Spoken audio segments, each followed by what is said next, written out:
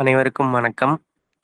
புதுதில்லி ஜவஹர்லால் நேரு பல்கலைக்கழகத்தின் தமிழ் பிரிவு தொடர்ச்சியாக சிறந்த நூல்கள் மீதான நூல் அறிமுகத் தொடர்களை நிகழ்த்தி வருகிறது.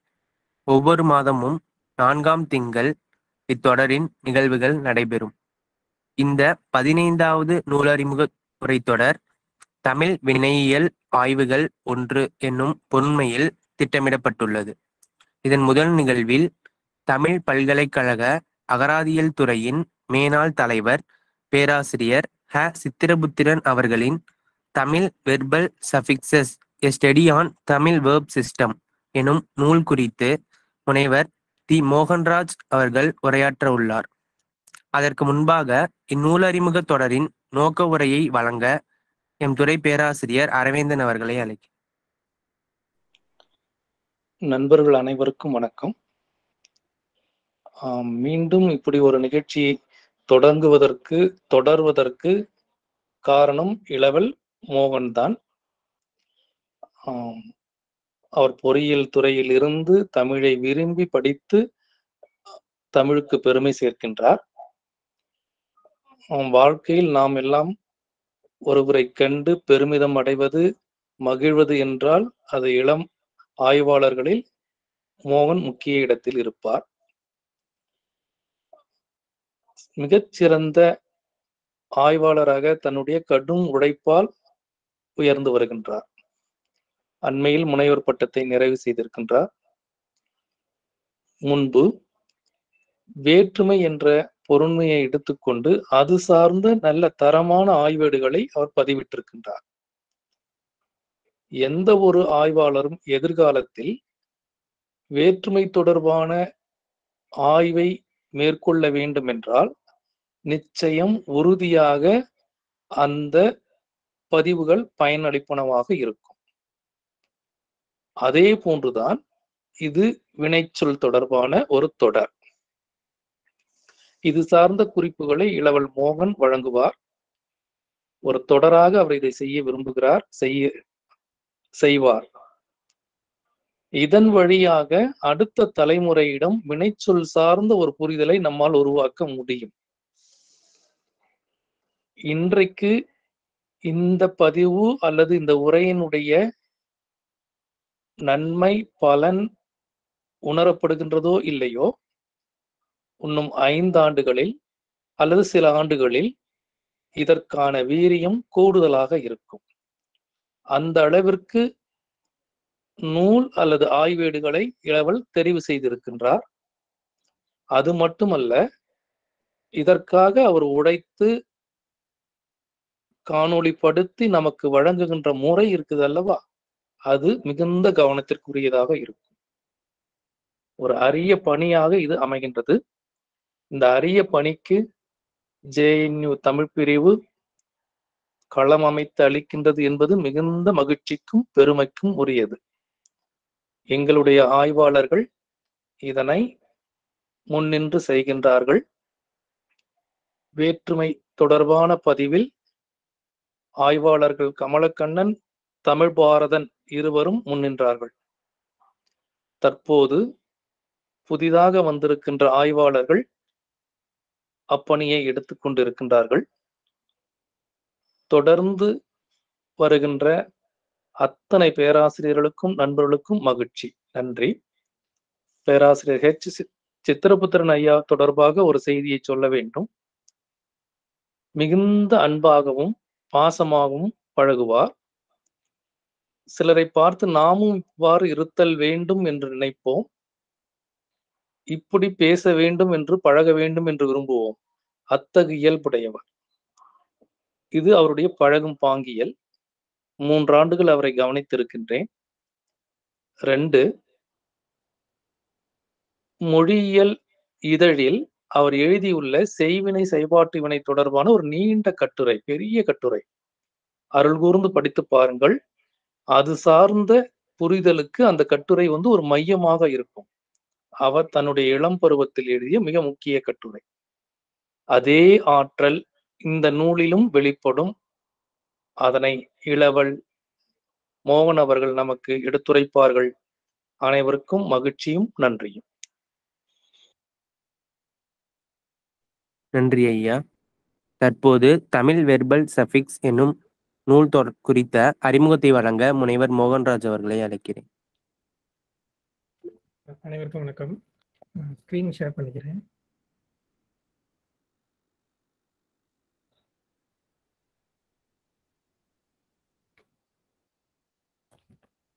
அனைவருக்கும் வணக்கம். இது வந்து தமிழ் மொழியின் வினை அமைப்புகளை குறித்து அஹ், நிகழ்த்தப்பெற்ற ஆய்வுகளின் ஒரு ஆறு ஏழு நூல்களை நாங்கள் தேர்வு செஞ்சு அதை ஒரு உரைத்தொடர நிகழ்த்தலாம்னு திட்டமிட்டிருக்கோம். அதனுடைய முதல் நிகழ்வு முதல் நூலாக எச். சித்திரபுத்திரன் அவர்கள் பேராசிரியர் எச். சித்திரபுத்திரன் அவர்கள் எழுதிய தமிழ் வெர்பல் சபிக்சஸ்ங்கிற நூல் அமையுது. அந்த ஏழு நூல்களினுடைய பட்டியல் இதுதான். இதுல வரிசையில மாற்றங்கள் இருக்கும். ஆனா அந்த ஏழு நூல்கள் இவை இவைதான். சித்திரபுத்திரன் சாருடைய தமிழ் வெர்பல் சஃபிக்சஸ்ல வந்து பழந்தமிழ் மற்றும் இடைக்கால தமிழ்ல வழங்கிய வினை வினையோடு தொடர்புடைய ஒட்டுக்கள் கால இடைநிலை சாரியை விகுதி இந்த மாதிரி வர ஒட்டுக்கள் வந்து வரலாற்று நிலையில அவற்றுடைய பகிர்வு திராவிட மொழியோட தொடர்பு பிற திராவிட மொழிகளோட தொடர்பு அப்படிங்கிற நிலையில எல்லாம் பல செய்திகளை தராரு. அதன் அடிப்படையில இந்த நூல் அமைஞ்சிருக்கு. அடுத்ததாக பேராசிரியர் சுபாஷ் சந்திர போஸ் அவர்களுடைய பழந்தமிழ் வடிவங்கள் மீள்பார்வைங்கிற நூல் இருக்கு. அதுல ஒரு குறிப்பிட்ட சில வினை முற்றுகளை விலை வினை வடிவங்களை எடுத்துக்கிட்டு அதுல இது வரைக்கும் விளக்கண விளக்கங்கள் கொடுத்த விளக்கங்கள் இருக்கக்கூடிய இடர்பாடுகளும் மொழியியல் பின்னணியில அதை எப்படி நம்ம புரிஞ்சுக்கலாம் அப்படிங்கிற நிலையில சில வினை வினை வடிவங்களை அவர் எடுத்து விளக்கியிருக்கார் அந்த நூல்ல. அதை பார்க்குறோம். பேராசிரியர் கோதண்டராமன் ஆர். கோதண்டராமன் அவருடைய dynamics of Tamil finite system செம்மொழி தமிழ் ஆய்வு நிறுவனத்தினுடைய வெளியீடாக வந்திருக்கு. அது வரலாற்று தொடரியல் பின்னணியில தமிழினுடைய வினை அமைப்புகளை அவர் விளக்கியிருக்காரு. அந்த நூலும் இதில் இடம்பெறுது. குறிப்பு வினைகள் தொடர்பாக பேராசிரியர் சு. அழகேசன் அவர்கள் குறிப்பு வினைகள் அமைப்பும் வருகை முறை இது அவருடைய முனைவர் பட்ட வீடு. பின்னாடி நூலாகவும் அது வெளிவந்திருக்கு. குறிப்பு வினைகள் தொடர்பாக நம்ம அந்த நூலை பார்க்க இருக்கிறோம். துணை வினைகள் தொடர்பாக பேராசிரியர் இ. அண்ணாமலையினுடைய dynamics of verbal extension in தமிழ்ங்கிற அந்த நூல் டிரெவிடியன் லிங்குஸ்டிக்ஸ் அசோசியேஷன் வெளியீடாக அது வந்திருக்கு. துணை வினைகள் வகுப்புல நம்ம அதை பார்க்க இருக்கோம் வினையச்சங்கள் தொடர்பாக பேராசிரியர் மாதையன் அவர்களுடைய அவருடைய முனைவர் பட்ட ஆய்வோடு பின்னாடி அது நூலாகவும் வெளிவந்திருக்கு. தமிழில் வினையச்சங்கள் வரலாற்று ஆய்வு அப்படிங்கிற அந்த நூலையும் பார்க்க இருக்கோம் ஏழாவது நூலாக பேராசிரியர் ராஜேந்திரன் அவர்கள் தமிழ் வினைகளை வந்து பொருண்மையியல் நோக்கில் அவர் வகைப்படுத்தி அவர் ஒரு முனைவர் பட்ட ஆய்வு சமர்ப்பிச்சிருக்காரு. அது syntax and semantics of Tamil வேர்ப்ஸ்ங்கிற பேர்ல வந்திருக்கு. அது அதையும் நம்ம பார்க்க இருக்கிறோம். இந்த நூல்கள் தான் நம்ம இந்த உரைத்தொடரில் இடம்பெற போகிற நூல்கள். அதுக்கு துணையாக நாம வேறு சில நூல்களையும் இங்க அங்கங்க சான்று காட்ட இருக்கோம். அகத்திலிங்கம் அவர்களுடைய சங்கத்தமிழ் ஐந்து தொகுதிகள் தேவையான இடங்கள்ல அதை அதை நம்ம சான்று காட்டுவோம். பேரரசர் இஸ்ரேல் அவர்களுடைய இலக்கண ஆய்வு வினைச்சொல்ங்கிற நூலும் பொற்கோ பேரரசர் பொற்கோவின் ஸ்டடிஸ் இன் தமிழ் லிங்குஸ்டிக்ஸ் அப்படிங்கிற நூல்ல அவர் ஒரு அந்த ஒரு முக்கியமான ஒரு கட்டுரை இருக்கு. பொதுவாக தமிழ் வினைகளை வந்து அவை ஏற்கிற கால இடைநிலைகளை புகுத்து அடிப்படையில் அடிப்படையில பல பகுதியா பிரிப்பாங்க. லெக்சிகனில் தமிழ் லெக்சிகனில் பார்த்தோன்னா பன்னெண்டு வினைத்திரிவுகள் கொடுத்து இர்ரெகுலர் வெர்ப்ஸை வந்து பதிமூன்றாவதை காட்டியிருப்பாங்க. அது ப- அந்த பகுப்பை பலரும் பல மாதிரி பார்த்திருக்காங்க. அகத்திலிங்கம் மூன்று வகையா பிரிக்கிறாரு. அஹ் சுபாஷ் சந்திர போஸ் அவர்கள் நான்கு வகையா பிரிக்கிறாரு. இதெல்லாம் இல்லாம பொற்கோ அவர்கள் வந்து எல்லா வினையையும் தொகுத்து ஒரே வகைமை கீழே கொண்டு வந்து விளக்க முயற்சி அந்த கட்டுரையில மேற்கொண்டிருக்காரு. அதை நம்ம சுபாஷ் சந்திர போஸ் சார் அவருடைய நூலை பார்க்கும்போது அந்த இந்த நூல்ல இருக்கிற செய்திகளையும் நம்ம ஒப்பிட்டு பார்க்கலாம். பேரசிரியர் சேவை சண்முகம் சொல்லிலக்கண கோட்பாடுகள் மூன்று தொகுதி அந்த நூல்கள் இருக்கிற கருத்துக்களும் நமக்கு இங்கே பயன்படும். அஹ் பேராசிரியர் காமாட்சி அவர்கள் குறிப்பு வினைகள் பொதுவாக குறிப்பு வினைகள் பற்றி சொல்லப்படுகிற கருத்துக்கள்ல இருந்து விலகி அவர் சில பு- கருத்துக்களை முன்வைக்கிறாரு. அதை நம்ம அழகேசன் சாருடைய குறிப்பு வினைகளை பற்றி பார்க்கும்போது இதையும் ஒப்பிட்டு பார்க்கலாம். துணைவினைகளை பற்றி ஒரு முனைப்பட்ட ஆய்வேடாக ஏ. பூலோகரம்பை அவங்க a study of auxiliaries in the old and middle தமிழ்ன்ற ஒரு ஆய்வேடு அவங்க வழங்கியிருக்காங்க.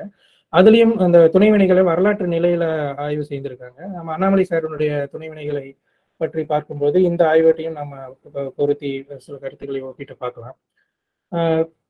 பொதுவாக இந்த தமிழ் வினைச்சொற்களை பற்றி ஆய்வு செய்யக்கூடிய ஆய்வாளர்கள் எல்லாருமே குறிப்பாக பழந்தமிழை ஆய்வு செய்யக்கூடிய ஆய்வாளர்கள் எல்லாருமே வந்து குறிப்பிட்ட ஒரு முக்கியமான கட்டுரை எல் வி ராமசாமி ஐயர் எழுதின the morphology of the old Tamil வெர்புங்கிற கட்டுரை. நம்ம இந்த பழந்தமிழ் பற்றிய ஆய்வு நூல்கள் எல்லாத்திலையுமே துணை நூல் பட்டியலில் பார்த்தோன்னா இந்த ஒரு கட்டுரை வந்து பெரும்பாலும் எல்லா நூல்கள்லையுமே குறிப்பிடப்பட்டிருக்கும். அந்த அளவுக்கு எல் வி ராமசாமி ஐயனுடைய இந்த கட்டுரை அமைஞ்சிருக்கு. எனவே இந்த தமிழ் வினையியல் ஆய்வுகளின் ஒரு முன்னோடியாக நம்ம அவரை கருதலாம். அதன் அடிப்படையில் அவர் அந்த கட்டுரையில சொன்ன ஒரு சில குறிப்புகளை பார்த்துட்டு இந்த உரை தொடர தொடங்குறது நமக்கு பொருத்தமா இருக்குன்ற நிலையில அந்த கட்டுரையில இருக்கக்கூடிய சில கருத்துக்களை மட்டும் இப்ப பார்ப்போம். அது ஆயிரத்தி தொள்ளாயிரத்தி முப்பத்தி எட்டுல ஆந்திரபோஸ்ங்கிற ஒரு இதழில் வெளியான ஒரு கட்டுரை. இவர்தான் வந்து இந்த சங்கத்தமிழை வந்து அல்லது சங்க இலக்கியங்கள்ல ரெண்டு வகையான மொழி அமைப்புகள் இருக்கு அப்படிங்கிறத வந்து வினை சொற்களை அடிப்படையாக கொண்டு அவர் நிறுவியிருக்காரு.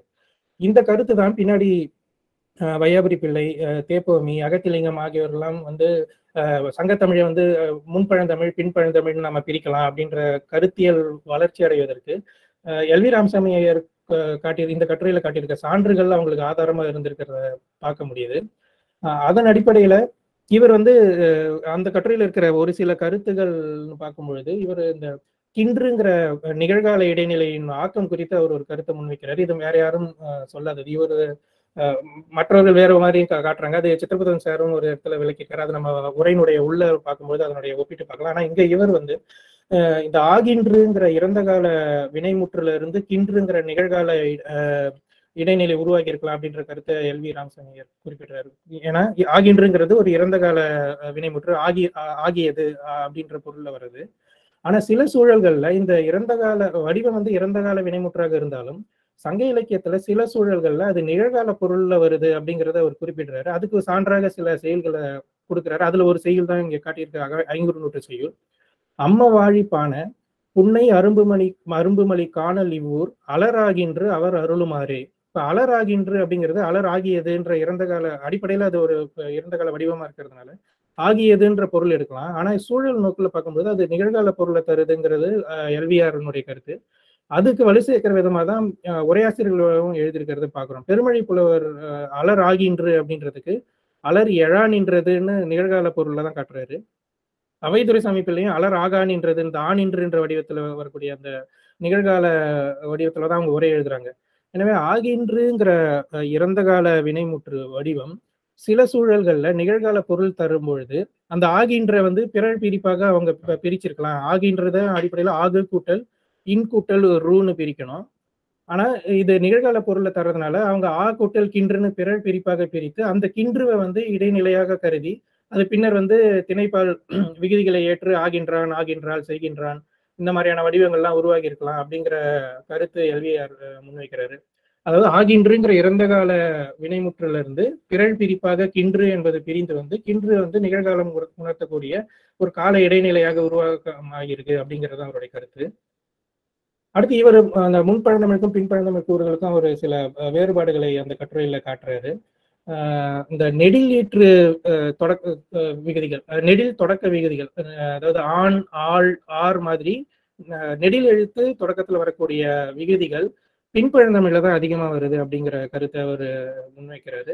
குறிப்பா சான்றா வந்து முன்பழந்தமிழ்ல அன் அல் வந்தனன் சென்றனன் இந்த மாதிரி வரக்கூடிய வடிவங்களும் அஹ் பின்பழந்தமிழ்ல இருந்து வந்தான் சென்றான் வரக்கூடிய அந்த ஆண் ஆள் அப்படிங்கிற ஒரு நெடில் அஹ் முதல் விகுதிகள் பயன்பாடு அதிகமா இருக்கின்ற கருத்தை வருகிறது வைக்கிறாரு முன்பழந்தமிழ்ல அஹ் இந்த அளபடை வாய்பாட்டு வினையச்சங்கள் அதிகமா வருதுங்கிறத கருத்தையும் அவர் காட்டுறாரு. மரி தழி போன்ற வடிவங்கள்லாம் அஹ் முன்பழந்தமிழ்ல அதிகமாகும்.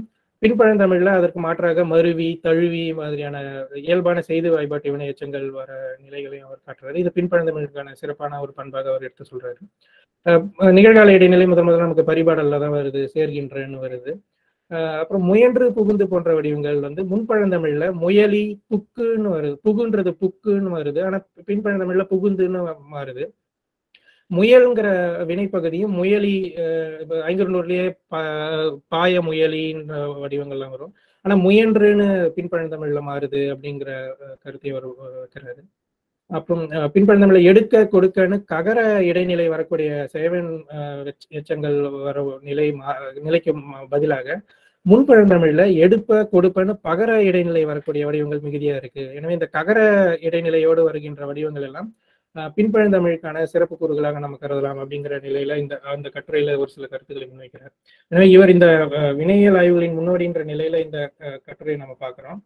இவருடைய கட்டுரைகள் எல்லாம் தொகுத்து சமீபத்துல டிரிவிடன் லிங்குவிஸ்டிக்ஸ் அசோசியேஷன்ல வந்து collected papers of L V Ramasamy ஐயர்னு ஒரு நூலை வெளியிட்டாங்க. அதுல அஹ், பதிப்பாசிரியர்கள் ஒருவர் ஒருவராக நம்ம ரங்கன் சார் இருந்திருக்காரு. இது தவிர ஆயிரத்தி தொள்ளாயிரத்தி எழுபத்தி எட்டுல Dravidian linguistics அசோசியேஷனே pioneers of linguistics series one L V Ramaswami Iyer மற்றும் சேஷகிரி பிரபு அவங்கள அடிப்படையாக வைத்து ஒரு நூலை உருவாக்கியிருக்காங்க. அதனோட உள்ளடக்கம் என்னன்னு எனக்கு தெரியல. ஆனால் இந்த கலெக்டட் பேப்பர்ஸ் ஆஃப் ராமசாமி ஐயர்ல அவருடைய கட்டுரைகள் எல்லாமே டிரைவிடன் லிங்குவிஸ்டிக்ஸ் பற்றியும் மலையாள மொழியியல் தமிழ் மொழியியல் பின்னணியில் எழுதப்பட்ட கட்டுரைகள் எல்லாமே அதில் தொகுத்து கொடுத்துருக்காங்க. இதன் அடிப்படையில் நாம முறையாக இந்த உரை தொடருக்குள்ள நுழையலாம். முதல் நூல் அஹ், சித்திரபுத்திரன் சாருடைய தமிழ் வெர்பல் சஃபிக்சஸ். முன்ன சொன்னது மாதிரி அது ஒரு பழந்தமிழ் மற்றும் இடைக்கால தமிழுக்கான ஆஹ், இலக்கியங்களில் இடம்பெறக்கூடிய வினை சொற்களின் அமைப்பை விரிவாக விளக்குகின்ற நிலையில அது ஒரு வரலாற்று ஆய்வு நூலாக நமக்கு அமைஞ்சிருக்கு. இதுல இந்த ரெண்டாயிரத்தி ஐந்துல இந்த நூல் நூல் வெளிவந்திருக்கு விசால பப்ளிகேஷன்ஸ் வழியாக. ஆனா இந்த நூல் வந்து அடிப்படையில அவர் அண்ணாமலை பல்கலைக்கழகத்துல முனைவர் பட்ட ஆய்வு மேற்கொண்டு அந்த ஆய்வேட்டினுடைய நூலாக்கம் தான் இது. ஆய்விட்டு இந்த முனைவர்பட்ட ஆய்வு செய்யும்போது அதனுடைய நெறியாளராக பேராசிரியர் சேவை சண்முகம் இருந்திருக்காரு. இந்த நூலினுடைய சிறப்பு கூறுகளாக நம்ம கருதலாம் சில விஷயங்களை பார்க்கலாம். பழந்தமிழ் மற்றும் இடைக்கால தமிழுடைய வினை அமைப்பை ஒப்புமை நோக்கில் காட்டுறது இது நூலினுடைய ஒரு சிறப்பு. அஹ், அது மட்டும் இல்லாமல் ஒரு இந்த வினையோடு சேர்ந்து வருகிற அந்த ஒட்டுக்கள் அஹ், கால இடைநிலை சாரியை விகுதி இது எல்லாமே மற்ற திராவிட மொழிகள்லயே எப்படி இருக்கு? அதுல அதனோட ஒப்பீடு செய்து விளக்கும்போது நமக்கு வேறு வகையான சில விளக்கங்கள் கிடைக்கிது. அதை நம்ம உரையினுடைய உள்ள நம்ம பார்க்கலாம். இந்த ஒட்டுக்களுடைய தோற்றம் அதனோட அது எங்க இருந்து உருவாகி இருக்கலாம்? அது மூல திராவிடத்தோட தொடர்புடையதா? அல்லது மூல திராவிடத்துக்கும் தமிழுக்கும் இடையில ஏதோ ஒரு நிலையில வளர்ச்சி அடைந்ததா? அல்லது தமிழுக்கே உரிய அமைப்பா? அப்படின்ற மாதிரியான தோற்றத்தை பற்றிய கருத்துக்கள்லாம் இந்த நூல்ல அவர் முன்வைக்கிறாரு. அவற்றினுடைய வருகை முன்பழந்தமிழ்ல எப்படி இருக்கு பின்பழந்தமிழ்ல எப்படி இருக்கு இடைக்கால தமிழ்ல அதனுடைய வருகை எப்படி இருக்குன்ற கருத்துக்களையும் அவர் காட்டுறாரு. பயன்பாட்டு பகிர்வு மிக முக்கியமாக அவர் காட்டுறது வந்து டிஸ்ட்ரிபியூஷன் யூசேஜ் டிஸ்ட்ரிபியூஷன்ல ஒரே விகுதி எந்தெந்த சூழல்கள்ல எந்தெந்த காலத்துல எப்படி பயன்பட்டிருக்கு அப்படிங்கிற அந்த பயன்பாட்டு பகிர்வையும் விரிவா விளக்கியிருக்காரு. அடுத்து மாற்றங்களுக்கான காரணங்கள். ஒரு காலத்துல இருந்து இருக்கிற ஒரு மொழிக்கூறு அடுத்து இன்னும் இன்னொரு காலத்துல இல்லாமல் போகும்பொழுது அல்லது புதிதாக உருவாகும் பொழுது அதுக்கு காரணம் என்னவாக இருக்கும் அப்படிங்கிற நிலையிலும் சில கருத்துக்களை அவர் இந்த நூல்ல குறிப்பிடுறாரு. மொழியியல் பின்னணியில சில புணர்ச்சி விதிகளை அஹ், விளக்கி காட்டியிருக்காரு. இது வந்து நம்ம அஹ், ரங்கன் சார் அஹ், செம்மொழி ஆய்வு செம்மொழி தமிழ் நிறுவனத்துல வந்து தொல்காப்பி அஹ், எழுத்ததிகாரத்தையே முழுமையும் ஒரு மொழியியல் பின்னணியில அந்த புணர்ச்சி விதிகள் எல்லாம் மொழியியல் பின்னணியில மாற்றுறதுக்கு இணையான ஒரு இந்த இயலாக இது அமைஞ்சிருக்கு காலப்பகுப்புன்னு பார்க்கும்போது இது பொதுவாக ஏற்றுக்கொள்ளப்பட்ட அந்த காலப்பகுப்பு தான். அதுல தமிழ்ல வந்து பழந்தமிழ் இடைக்கால தமிழ் தற்கால தமிழ்னு பிரிக்கிறாங்க. பழந்தமிழ் முன் பழந்தமிழ்னும் பின் பழந்தமிழ்னும் இடைக்கால தமிழை முன் இடைக்காலம் பின் இடைக்காலம்னு பகுத்து இந்த நான்கு நிலையில இந்த நூல்ல வந்து அவர் தரவுகளை கொடுத்திருக்காரு. ஆய்வு எல்லையாக முன்பழந்தமிழ்ல புறநானூறு அகநானூறு இந்த குறுந்தொகை ஐங்குறுநூறு நூறு பதிற்றுப்பத்து நற்றினை பத்து பட்டு முழுமையுமே அவர் ஒரு நூலாக கருதி மொத்தம் ஏழு நூல்கள் இருக்கிறதாக அவர் குறிப்பிடுறாரு. பின்பழந்தமிழ்ல பரிபாடல் கலித்தொகை திருக்குறள் சிலப்பதிகாரம் மணிமேகலை இதெல்லாம் இது. முன் இடைக்காலத்துல பெருங்கதை தேவரத்தில் அப்பர் தேவாரம் மட்டும் எடுத்துக்கிறாரு. நாலாயிர திவ்ய பிரபந்தம் முழுமையுமே எடுத்துக்கிறாரு. பின் இடைக்காலத்தில் பெரிய புராணம் வில்லி பாரதம் இது ரெண்டு நூல்களும் அமைச்சிருக்கு நூலினுடைய உள்ளடக்கம் பார்க்கும்பொழுது முன்னுரையில அவர் அந்த வரலாற்று வரலாற்று இலக்கணம் தொடர்பான சில கருத்துக்களை அவர் குறிப்பிட்டார் மொழியில எந்த மாதிரியான மாற்றங்கள்லாம் நடக்கும்ங்கிற கருத்தெல்லாம் அவர் முன்வைக்கிறாரு. அடுத்து இயல் இரண்டிலிருந்து இயல் பத்து வரைக்கும் வினையோடு தொடர்புடைய ஒட்டுக்கள் பற்றிய விளக்கமாக இருக்கு. செயல்படு பொருள் குன்றா வினை மற்றும் காரண வினை ஒட்டுகளும் கால இடைநிலைகள் பற்றியும் எதிர்மறை ஒட்டுகள் சாரியைகள் வினையச்ச விகுதிகள் பெயரச்ச விகுதிகள் இந்த திருநிலை வினைமுற்றில் வரக்கூடிய திணைப்பால் விகுதிகள் ஏவல் விகுதிகள் வேங்கோல் விகுதிகள்னு இந்த இரண்டிலிருந்து பத்து வரைக்குமான இயல்கள்ல விளக்குறாரு. பதினோராவது இயல்ல புணர்ச்சி விதிகளை வந்து மொழியியல் பின்னணியில விளக்குற அந்த இயல் அமைஞ்சிருக்கு. பன்னெண்டாவது இயல் வந்து ஒரு சிறிய குறிப்பு தான் அதுல இருக்கு. ஒரு சிறிய இயல் தான். தற்கால தமிழ்ல இந்த பழந்தமிழ் இடைக்கால தமிழ்ல வழங்கப்பட்ட என்ன மாதிரியான வினைகள் தற்கால தமிழில் தொடர்ச்சியா வந்திருக்கு அல்லது எங்கே விடுபட்டு போயிருக்கு அப்படிங்கிற ஒரு ஒப்பீட்டு நிலையில அதை விளக்கியிருக்காரு. நாம இதை ஒவ்வொரு இயலா நம்ம இங்க பார்க்க போறதுல ஒரு மூன்று கருத்துக்களை மட்டும் எடுத்து தான் அதில் நம்ம விளக்க போறோம். அதன் அடிப்படையில தொடக்க அந்த முன்னுரையில் அவர் கொடுக்குற சில கருத்துக்களை பார்த்துட்டு அந்த முக்கியமான அந்த மைய கருத்துக்கு நம்ம போகலாம். மொழி மாற்றங்கள். ஒரு மொழியில வந்து மாற்றம் எத எந்தெந்த பின்னணியிலலாம் நிகழும் அப்படின்றதுக்கான ஒரு பட்டியலை அவர் தராரு ஒன்று ஒலி மாற்றம் ஒரு மொழியில வந்து குறிப்பிட்ட ஒலி ஒரு காலத்துல ஒரு விதமாக ஒழிக்கப்பட்டு வேறொரு காலத்துல வேறொரு விதமாக ஒழிக்கப்படுற அந்த ஒளி மாற்றமும் ஒளி மாற்றமாக நம்ம கருதலாம்ன்ற நிலையில அஹ், அவர் விளக்குறாரு. அது சான்றாக நாம அந்த வெடிப்பொலி சகரம்ங்கிறத நம்ம அஹ், ஒரு வல்லெழுத்தா கருதுவோம். ஆனா ஒழிக்கும் பொழுது நம்ம ஒரு உரசொலியாக ஒழிக்கிறத பாக்குறோம். சரின்னு அஹ், பச்சலைன்னு நம்ம சொல்றது இல்ல சரி பசலைன்னு ஒரு உரசொலியாக அந்த மாற்றம் வந்து ஒரு ஒலி மாற்றமா மொழியில நடந்த ஒரு மாற்றமாக நம்ம கருதலாம். கடன் வாங்குதல் மூலமாக மொழியில மாற்றம் நடக்குது. நம்ம கிட்ட அருவின்ற ஒரு சொல் இருக்கும் பொழுது வாட்டர் ஃபால் அப்படிங்கிற அந்த கருத்தை அப்படியே கடன் வாங்கி நம்ம நீர்வீழ்ச்சின்னு உருவாக்குற அந்த சொல் வடிவங்கள் கடன் வாங்குதல்ன்ற அடிப்படையில் நமக்கு வருது. ஒப்புமையாக்கத்தினாலையும் மொழியில மாற்றங்கள் நடக்கும். செய்யாதங்கிற வடிவம் இருக்கும் பொழுது அதற்கு ஒப்புமையாக இல்லாதங்கிற வடிவம் உருவாகுது. அடிப்படையில் இந்த செய்யாத இல்லாததுக்கும் வேறுபாடு இருக்கு. இந்த செய்யாதல் இருக்கிற செய் கூட்டல் கூட்டல் ஆணு பிரிப்பா அந்த ஆத்துக்கு எதிர்மறை உணர்த்துற எதிர்மறை பொருள் அதுல இருக்கு. ஆனா இல்லாதல இருக்கிற ஆத்துல எதிர்மறை பொருளே கிடையாது. அந்த எதிர்மறை பொருளை இல்லைங்கிற பகுதியை கொடுத்துருது. அதுல ஆத்துங்கிறது ஒரு வெட்டு உருவன் மாதிரி தான் எம்டி மார்பி மாதிரி தான் செயல்படுது ஆனா அதனோட ஒப்புமையாக்கம் காரணமாக செய்யாத வடிவங்கள் இருக்கிறதுனால இந்த அல்லாத இல்லாத மாதிரியான வடிவங்கள் தோன்றி இருக்கலாம் இது குறி இதை பற்றி அள்ளும் இல்லமும் வாய் சுப்பிரமணியன் வந்து அவருடைய அந்த இலக்கண கட்டுரைகள் அடையாளம் பதிப்பகம் போட்டிருக்கு ஒரு முக்கியமான ஒரு கட்டுரை எழுதியிருக்காரு. அல்லும் இல்லும் வந்து எப்படி மற்ற குறிப்பு வினைகள்ல இருந்து வேறுபடுது அல் இல் அண்மையின் இன்மையின் உண்மையின் உண்மைன்னு சொல்ற பெரிய குறிப்பு வினைகளுக்குள்ளதான் கொண்டு வந்து அடக்குவாரு.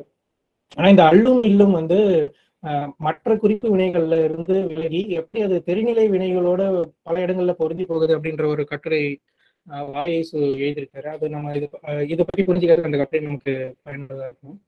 அடுத்து மொழி கலப்பு. குறிப்பா இந்த சாக்கு சாக்கு துணி சாக்கு பை மாதிரியான சொற்கள். இந்த சாக்குங்கிற சொல் வந்து டச்சு சொல்லு சாக்ல இருந்து வந்ததாக தமிழ் லெக்சிகன் குறிப்பிடுது.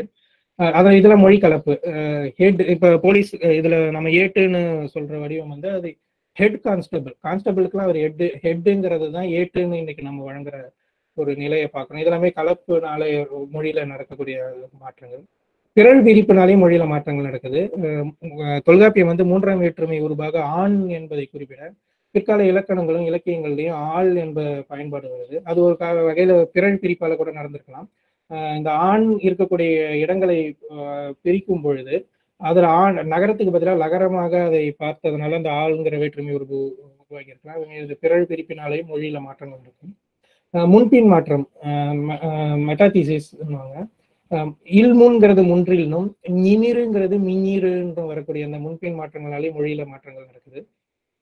ஒத்த அசை நீக்கம் ஹேப்லாலஜின்னு மொழியல்ல ஒத்த அசை நீக்கத்தை பத்தி தொல்காப்பியத்திலே ஒத்த அசை நீக்க பின்னணியில சில நூற்பாக்கள் இருக்குன்னு அஹ், பீசா சுப்பிரமணிய சாஸ்திரி அவருடைய அந்த கிராமட்டிக்கல் தியரிஸ் நூல்ல குறிப்பிட்டார் அவர் கொடுக்குற சான்று தான் இது. சாத்தன் தந்தைங்கிறது ஹேப்லாலஜியினுடைய தாக்கத்தினால அந்த நூற்பா உருவாகி இருக்கலாம்ங்கிறது சாத்தன் தந்தையில ஒத்த அசை தன் சாத்தன்ல இருக்கிற தன்னும் தந்தையில இருக்கிற தன்னும் ஒரே அசை ஒளிகையில இருக்கிறதுனால ஒரு அமைப்பு அதுல நீங்கிடும். அதனாலதான் சாத்தந்தைன்னு உருவாகுதுன்ற கருத்தை அவர் கொடுக்குறாரு. நம்ம பொதுவா இந்த அருமருந்தண்ணங்கிறத அருமந்தண்ணன்ற வடிவத்தை காட்டுவாங்க. அதுவும் ஆப்லாலஜி தான். ஒத்த அசை வரும்போது ஒரு அசை வந்து அதுல கெட்டு போயிடும். ஓரின மாதல் அசிமிலேஷன் மூலங்களாலேயும் மொழியில மாற்றங்கள் நடக்கலாம். தேன்குடம்னு சொல்ல வேண்டிய இடங்கள்ல வந்து தேக்குடம்னு மாறுறது. ஆஹ் அந்த நகரம் ககரத்துக்கு இணையான அதே ஆஹ் ஒலியை பெற திக்கு வர்றது வந்து ஓரின மாதலுக்கு காட்டுறாங்க. வேறின வேரின மாதல் டிசிமிலேஷனும் நடக்கலாம். ஒட்டடை ஒட்டரைங்கிறது தகரத்துக்கும் ரகரத்துக்கும் எந்த தொடர்புமே இல்லை. அது வேறு வேறொரு இன ஒலியாக மாறுவது வந்து வேறின மாதல் டிசிமிலேஷன்ல காட்டுறாங்க. ஸோ இந்த காரணங்களால மொழிகள்ல மாற்றங்கள் நடைபெறலாம்ங்கிறத குறிப்பிடுறாரு. வினை அமைப்பு இந்த நூலில் கொடுத்துக்கிற க கருத்துக்களை தொகுத்து பார்க்கும்பொழுது ஒன்பது வகைப்பாடுகள்ல மொத்தம் நூத்தி இருபத்தி ஒன்பது ஒட்டுக்களை பற்றி அவர் விளக்குறாரு. மிகுதியாக வந்து தெரிநிலை வினைமுற்றுகளான திணைப்பால் விகுதிகள்ல வந்து நாற்பத்தி ரெண்டு ஏவல் விகுதிகள்ல இருபத்தி நாலு அதுக்கப்புறம் வினையச்ச விதிகள் பத்தொன்பது இந்த பட்டியலை இங்க நாம காட்டியிருக்கோம். மொத்தம் நூத்தி இருபத்தி ஒன்பது ஒட்டுகள். ஒன்பது வகைப்பாடுகள்ல அதை நம்ம அடக்கி அந்த நூல் முழுமையுமே தொகுத்து சொல்லணும்னா இப்படி சொல்லிடலாம். ஒன்பது வகைப்பாடுகள்ல நூத்தி இருபத்தி ஒன்பது ஒட்டுகளின் முன்பழ பழந்தமிழ் மற்றும் இடைக்கால தமிழ் அவற்றினுடைய வருகையை பற்றிய தரவுகளை கொடுக்கக்கூடிய நூலாக நாம் இதை கருதலாம். முதல் மைய பகுதியாக மூன்று கருத்துக்களை பார்க்குறோம். அதுல முதலாவதாக இருக்கிறது வந்து ஆஹ் அரிய வினை வடிவங்களும் அவற்றுக்கான அந்த நூல் வழங்குற விளக்கங்களும். இந்த சகர இடைநிலையை பத்தி அவர் சில கருத்துக்களை முன்வைக்கிறார். அதை நம்ம சுபாஷ் சந்திரபோஸ் அவர் கொடுக்குற கருத்தோட நம்ம பொருத்தி பார்க்கலாம். இந்த சகர இடைநிலை வடிவங்களை நம்ம தொடர்ச்சியாக சங்க இலக்கியத்திலும் பிற்கால இலக்கியங்களும் நம்ம பார்க்குறோம். கணமா தொலைச்சி தன்னையர் தன் தொலைச்சிங்கிறது தொலைத்துங்கிற பொருள் தான். தொலை தொலைந்து தன்வினை தொலைத்து பிறவினை தான். அந்த பிறவினை தான் தொலைத்துங்கிற அதே பொருள்ல தான் தொலைச்சின்னு வருது. அந்த தகரத்துக்கு இணையாக இங்க சகரம் வர சூழலை பார்க்குறோம். அது பரவலாக பல இடங்கள்ல வரதையும் பார்க்குறோம். பெருங்கலிறு தொலைச்சிய இருங்கேழு ஏற்றை தீஞ்செறி தசும்பு தொலைச்சினன்னு வினைமுற்றாகவே வருது. பொரியறை கொங்கின் பொன்மருள் பசுவி விரியினர் வேங்கையோடு வேறுபட மிளைச்சி மிளைந்து சூடிங்கிற பொருள்ல வர மிளைந்து கூட மிளைச்சின்னு சகரத்தை ஏற்று வர்றதையும் பார்க்குறோம். பெருங்கதையில இன்றைக்கு நம்ம வழங்குற மாதிரி நீர் பாய்ச்சினான் வேல் பாய்ச்சினான்ற மாதிரி பாய்ச்சிங்கிற வடிவத்தையும் பார்க்குறோம். அது பாய்ந்துங்கிற வடிவத்தினுடைய பிறவினை வடிவம் தான் பாய்த்துன்னு தான் வந்திருக்கணும். ஆனால் பாய்ச்சின்னு வர இடங்களை பார்க்குறோம். காய்ச்சி அதே மாதிரி பெரிய புராணத்திலையும் வரதையும் பார்க்குறோம். இது அடிப்படையில் எப்படி நம்ம பகுக்கிறதுனா தொலைத்தங்கிறது சொன்னது மாதிரி தொலை தொலைந்தான் தன்வினை தொலைத்தான் பிறவினை. தொலைத்தான் தான் தொலைச்சினான்ற அதே பொருள்லையும் வருது. இந்த தொலைத்தங்கிறத பிரிக்கணும்னா நம்ம தொலை கூட்டல் இத்து கூட்டல் ஆன்னு பிரிப்போம். இது தமிழ் பேரகராதியின்படி வினைத்திரிபு பதினொன்றின் கீழ் வரும். தொலைத்தான் தொலைக்கிறான் தொலைப்பான்ற அந்த பகுப்புல வரும்பொழுது வினைத்திரிவு பதினொன்றில் வரும். ஆனா இது சகரம் ஏற்கும் பொழுது அதனுடைய வினை அமைப்பு மாறுறதையும் பார்க்கிறோம். தொலைச்சியேன்னு வரும்பொழுது தொலை கூட்டல் இச்சு கூட்டல் ஈ கூட்டலான்னு பிரிஞ்சு அது வினைத்திரிவு ஐந்தின் கீழ் வருது. தொலைச்சினான் தொலைச்சுகிறான் தொலைச்சுவான் அந்த பகுப்பின் கீழ் அடங்குது. ஏன்னா இது பொருள் நிலையில ஒண்ணுதான் ஒண்ணுதான் அப்படின்னாலும் கூட வினை அமைப்பு நிலையில இதனுடைய வினைத்திரிவு திரிபு பகுப்புல அது மாற்றம் இருக்கிறதையும் நம்ம பார்க்கிறோம். ஒரே காலகட்ட இலக்கியங்கள்ல ரெண்டு வடிவங்கள் வரதையும் சித்திரபுதன் சார் காட்டியிருக்காரு. இரும்பு இரும்புலி தொலைத்த பெருங்கை அணைங்கிறதுல தொலைத்தன்ற வடிவம் வருது. பெருங்களிர் தொலைச்சியே இருங்கே ஏற்றை. அதே பொருள் தானே தொலைச்சியன் வருது. அவன் உடலில் தம் உயிரை பாய்த்தினார். இந்த வடிவத்தை நம்ம அவ்வளவு பயன்படுத்துறோம் பாய்ச்சினார்ன்றதான் நம்ம இப்ப பயன்படுத்துறோம். ஆனா பாய்த்தினார்ன்ற வடிவமும் இலக்கியத்துல இருந்திருக்கிறத பாக்குறோம் பெரிய புராணத்திலேயே. பெருங்கதையில தோல் மேல் பாய்ச்சியும்னு வருது. எனவே இந்த தகர சகரம் ஒரே கால இலக்கியங்கள்ல பயன்படுறத நம்ம பார்க்குறோம். இப்போ இப்ப இதை எப்படி புரிஞ்சுக்கிறது? இந்த தகரம் சகரத்துக்கு இடையிலான உறவை எப்படி விளக்குவது அப்படிங்கிறதுல ரெண்டு வகையான கருத்து இருக்கு. அதுல ஒரு கருத்து வந்து சுபாஷ் சந்திர போஸ் போன்றவர்கள்லாம் முன்வைக்கிறாங்க. அவங்க வந்து அந்த அஹ், மொழியியல்ல விளக்குற அந்த பேலட்டலைசேஷன் அன்னவிய மாதல் அடிப்படையில அதை விளக்குறாங்க. தகரம் தான் சகரமாக மாறுது அப்படின்றது. குடித்தான் எப்படி குடிச்சான்னு வருதோ படிச்ச படித்த அப்படி வர இடங்கள்ல வரக்கூடிய அந்த தகர தகர சகர மாற்றம் தான். இங்கேயும் வந்து தொலைத்தான் தொலைச்சினான்னு வருது அப்படின்ற அஹ், அன்னவிய மாதல் கொள்கையின் அடிப்படையில் அதை விளக்குறாங்க. ஆனா P. S. Subramaniam Chithraputhiran sir போன்றவர்கள் எல்லாம் அஹ், அது தொலை தகரத்துல இருந்து சகரத்தை வருவிக்கலாம். மாறாக சகரம் என்பதே மூலத்திராவிடத்தினுடைய ஒரு இடைநிலை. அது அது- அதை நம்ம ஒரு அன்னமயமாதல மாதல்ல இருந்து நம்ம கொண்டு வர வேண்டியதில்லை. சகரம் தனிப்பட்ட ஒரு இடைநிலை வடிவம் தான். அதை நம்ம அது தமிழ்ல பயன்பாட்டில் இருந்திருக்கு அப்படிங்கிறத மாதிரி நான் அவங்க கருதுறாங்க. எனவே இந்த சகரத்தை பொறுத்த வரைக்கும் ரெண்டு கருத்து இருக்கு. அதுல ரெண்டாவது கருத்து மூல திராவிட கருத்து வந்து அஹ், சித்திரபுத்திரன் சாருக்கு இருக்கு. ஒரே வினைப்பகுதி ரெண்டு கால இடைநிலைகளை ஏற்கிற வடிவங்களையும் நம்ம தொடர்ச்சியாக சங்க இலக்கியங்களை பார்க்க முடியும். சான்றாக வந்து இருள் அப்படிங்கிற வினைப்பகுதி எடுத்துக்கிட்டோம்னா அது இருண்டு அப்படிங்கிற வினையச்சமாக மாறுது. இருண்டது இருண்டன அப்படி வரக்கூடிய அதுல இருந்து வரக்கூடிய வினையச்சம் இருண்டுங்கிற அந்த அமைப்புலையும் வருது.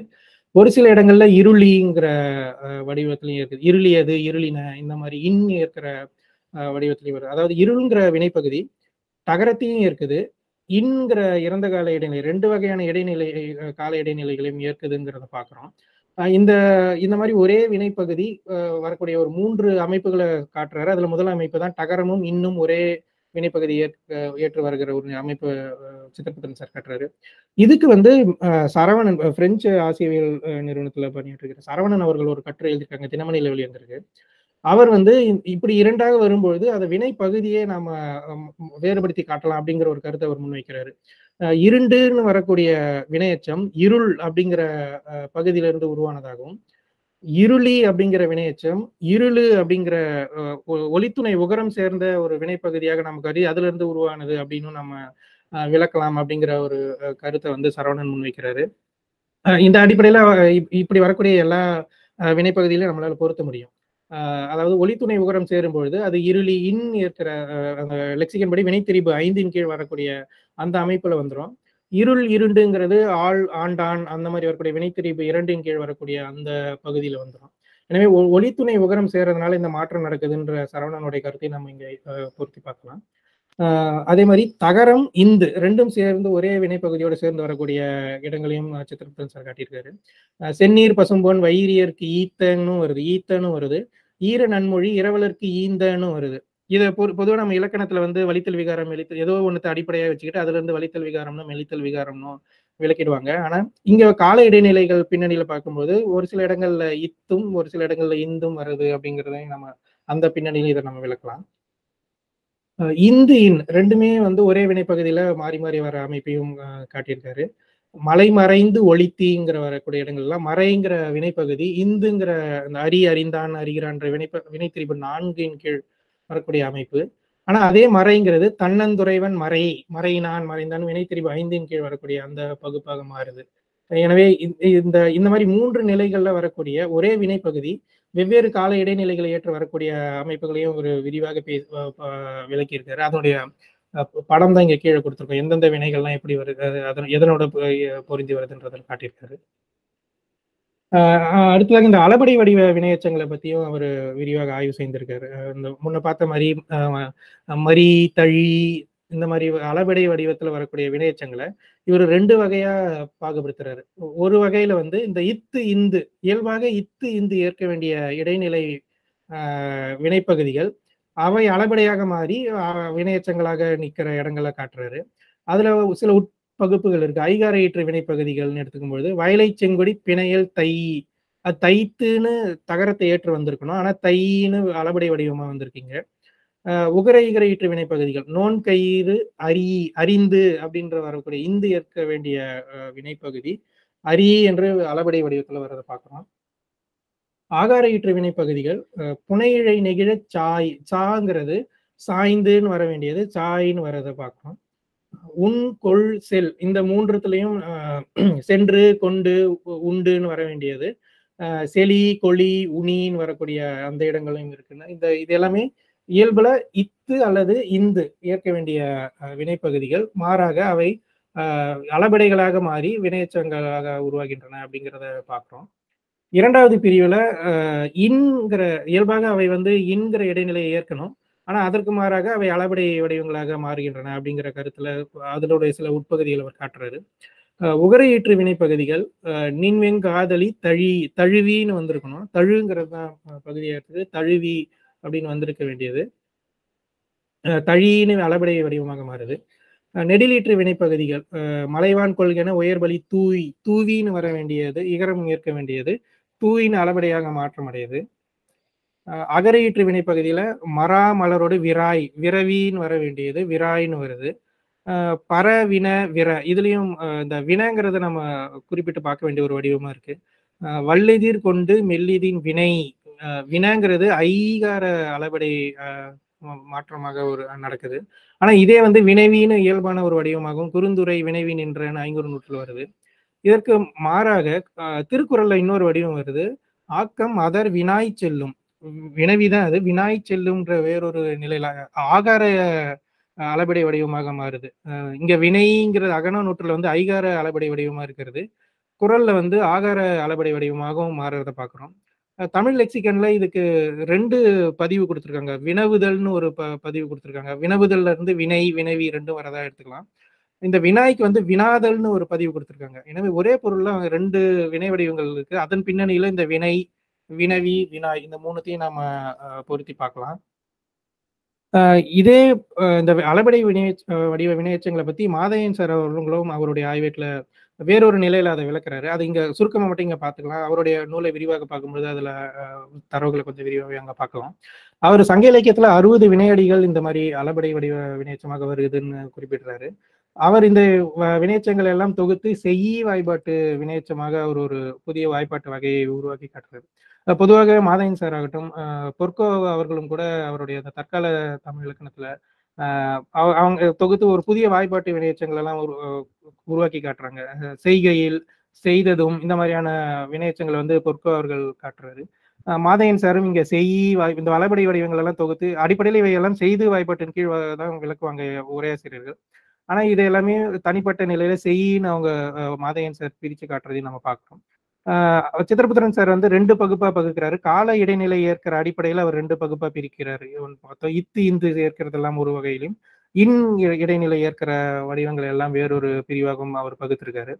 மாதையன் சார் அந்த வினை பகுதிகளின் அடிப்படையில நான்கா பகுக்கிறாரு. ஒற்றீரு அந்த செல்லுங்கிறது செலியின் ஆகிறது இகர உகர ஈறு அரிங்கிறது அரின்னு வருது ஐகாரி ஈறு நிலை நிலைன்னு வருது பிற நெடிலீர்கள் அசாங்கிற அசாயின் வர்றது. இந்த மாதிரி அவர் வேறொரு நிலையில அந்த வினை பகுதிகளின் அடிப்படையில ஒரு நான்கு அஹ், வகைகளை சுட்டி காட்டுறாரு.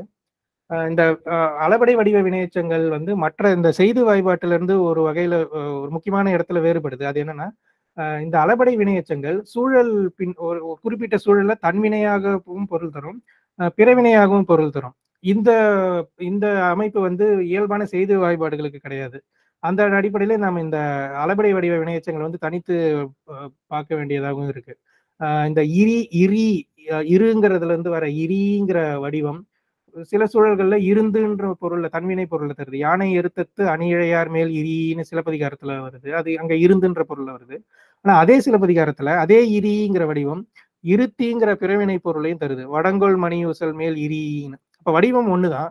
ஆனா சூழலுக்கு ஏற்ப அது தன்வினையாகவும் ஒரு இடத்துல செயல்படுது பிறவினையாகவும் செயல்படுது. இது வந்து அளபடை வடிவ வினையச்சங்களுக்கு இருக்கக்கூடிய ஒரு சிறப்பு அஹ், பண்பு. இத இப்படி ரெண்டு இடங்கள்லயும் வரக்கூடியதையும் சித்திரபுத்தன் சார் சில சான்றுகளையும் காட்டி விளக்கிருக்காரு அரிய வடிவங்கள்னு வேற சிலதை பார்க்கும் பொழுது கீங்கிற ஒரு எதிர்கால இடைநிலை தமிழ் சூழல்லையே ஒரே ஒரு இடத்துல பயன்பட்டு இருக்கிறத ஒரு சிறப்பாக சுட்டி காட்டுறாரு அதுவும் நம்மாழ்வார் மட்டும்தான் அதை பயன்படுத்தியிருக்காரு. உண்டு கழித்து உழல்வியருக்கு ஒன்று உரைக்கியம்.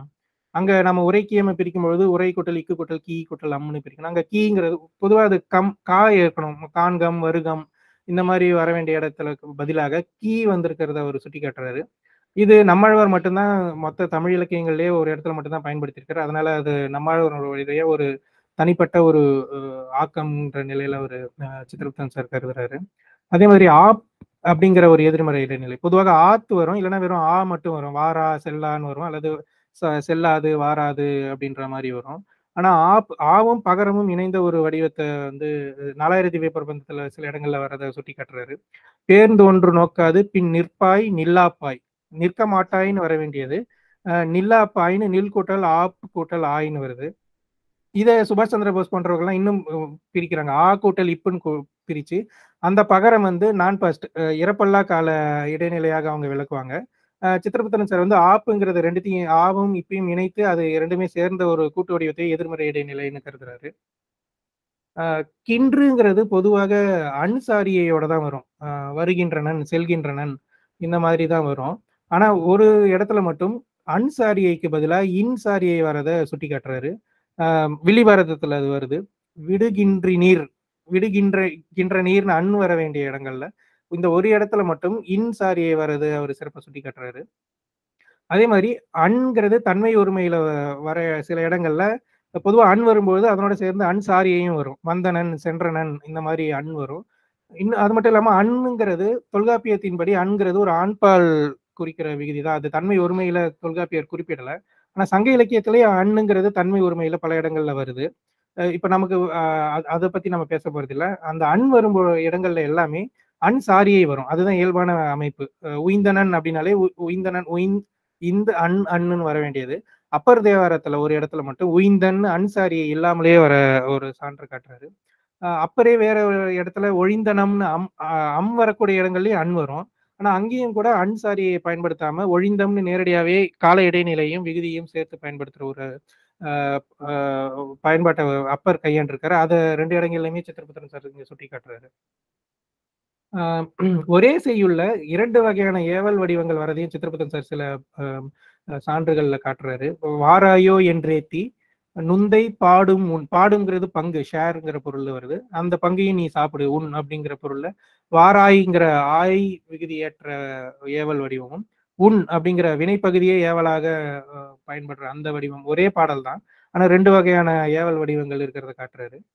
மணிமேகலையில இன்னும் சிறப்பா ஒரே வினைப்பகுதி ரெண்டு வகையான ஏவல் வடிவங்கள்ல வரதை காட்டுறாரு. முன்ன பார்க்கும்போது வாங்கிற வினைப்பகுதியும் உண்ணுங்கிற வினைப்பகுதியும் ஏவல்ல வரதை பார்க்குறோம். ஆனா மணிமேகலையில கேள்ங்கிற வினைப்பகுதி தான் ரெண்டு இடத்துலயும் வருது. ஆனா ரெண்டு இடத்துலயுமே வெவ்வேறு வினை வடிவ ஏவல் வடிவத்துல வருது. இங்கிவை செய்தி கேள் அப்படின்னு கேள்னு நிக்குது. ஆனா அது பின்னாடி ஐந்தாவது அடியில ஆயிழை கேளாய் அப்படின்னு அது ஆய் விகுதி பெற்று அது அங்க ஏவல் வடிவமா வருது. இந்த மாதிரியான சான்றுகள் எடுத்து காட்டுறாரு. செய்யங்கிற வாய்ப்பாடு வந்து இப்போ பொதுவாக நம்ம செய்யவன் எச்சமாக தான் பார்ப்போம். ஒரு சில இடங்கள்ல அது வேங்கால் வினையாகவும் செயல்பட்டு செயல்பட்டிருக்கு அப்படிங்கிற சான்றுகளையும் காட்டுறாரு. பண்டை நம் வினை கெட என்று கெடுக என்றுன்னு வர வேண்டியது. பண்டை நம் வினை கெட என்றுன்னு கெட ந- கெட என்றே வந்திருக்கிறது. நாம இப்போ தற்கால தமிழ்ல வந்து உன் மே- உன் தலையில இடி விழ அப்படின்னு பேசுற அந்த விழங்கிறதும் இந்த இதனோட பொருத்தி பார்க்கலாம். விழுகன்னு வர வேண்டியது விழன்னு நம்ம இப்போ தற்கால தமிழ்ல பயன்படுத்துறோம். இப்போ அதனுடைய ஒரு ஒரு அஹ், தொடக்கமாக இந்த மாதிரி இடங்களை நாம கருதலாம். இரண்டாவதாக அஹ், பிற திராவிட மொழிகளினுடைய ஒப்பீடு செய்து காட்டுவது பல இடங்கள்ல அந்த அஹ், புரிஞ்சு புரிஞ்சுக்கிறதுக்கு நமக்கு ரொம்ப பயனுள்ளதா இருக்கு. அதன் அடிப்படையில நம்ம இந்த திராவிட மொழிகளோட தொடர்பு படுத்தி நான்கு நிலைகள்ல நம்ம அந்த ஒட்டுகளை பார்க்கலாம். ஒன்று வந்து மூல திராவிடத்திலேயே இருக்கக்கூடிய மொழிக்கூறுகள் தமிழ்ல தொடர்ச்சி தொடர்ந்து வந்திருக்கு அப்படிங்கிற ஒரு ஒரு விளக்கம் இருக்கு.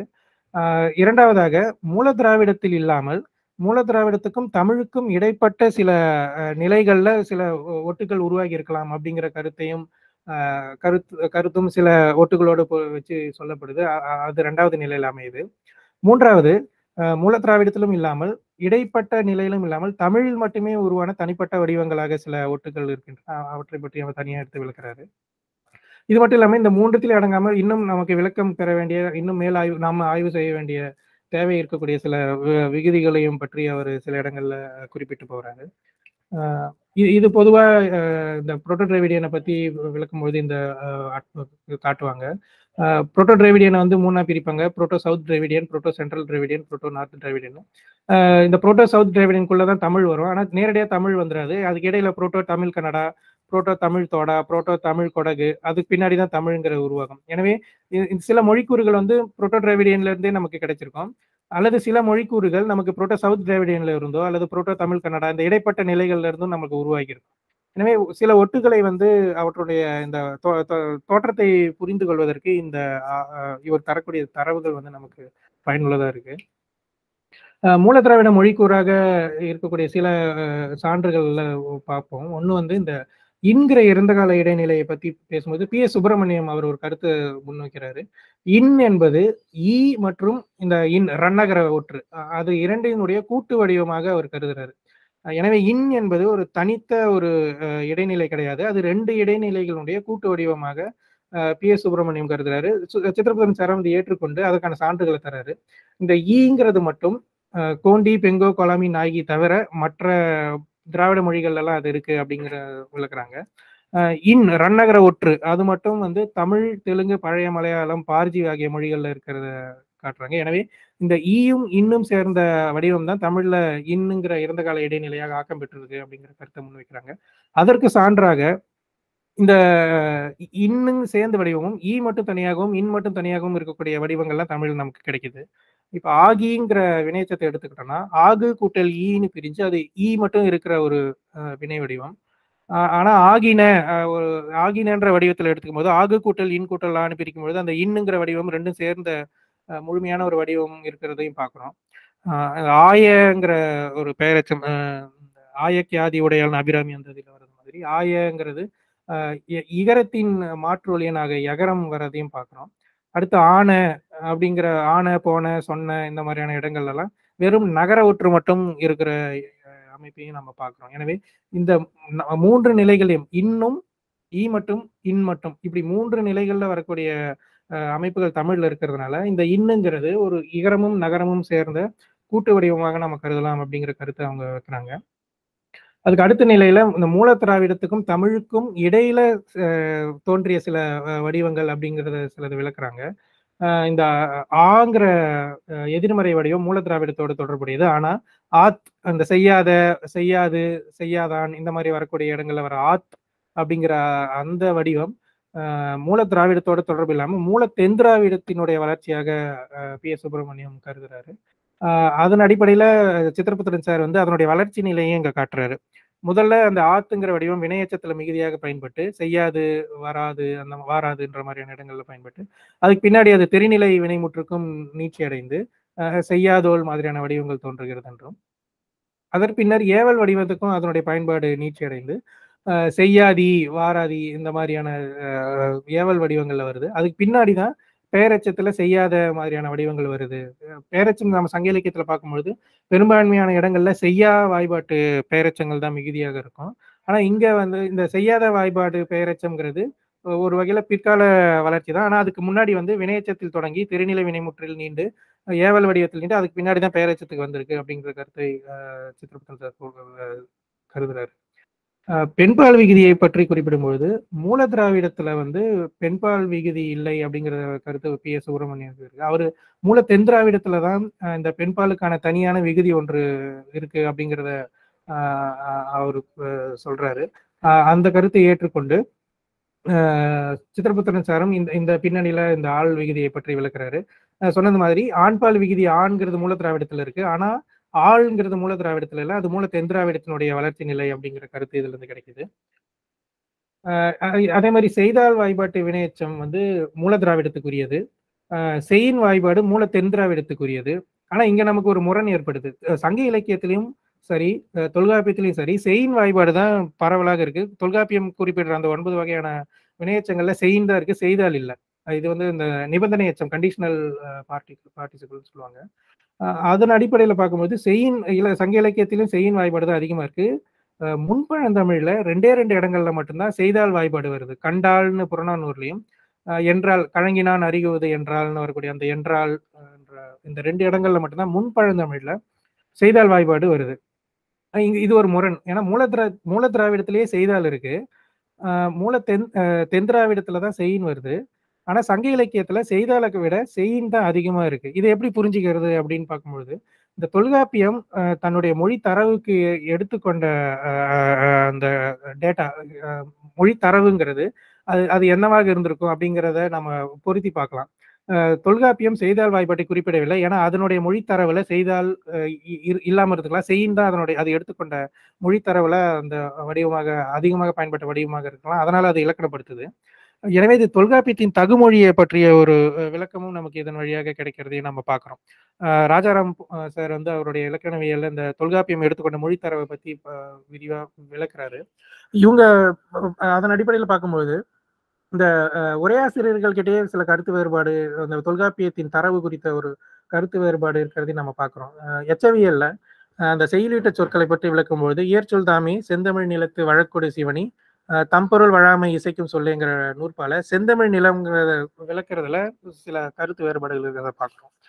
இளம்பொருணர் சேனாவரையர் நச்சினார்கினியர் இவங்கெல்லாம் செந்தமிழ் நிலம் என்பது வையை ஆற்றின் வடக்கு மருதை ஆற்றின் தெற்கு கரூரின் கிழக்கு மருவூரின் மேற்குன்ற ஒரு எல்லையை குறிப்பிடுறாங்க.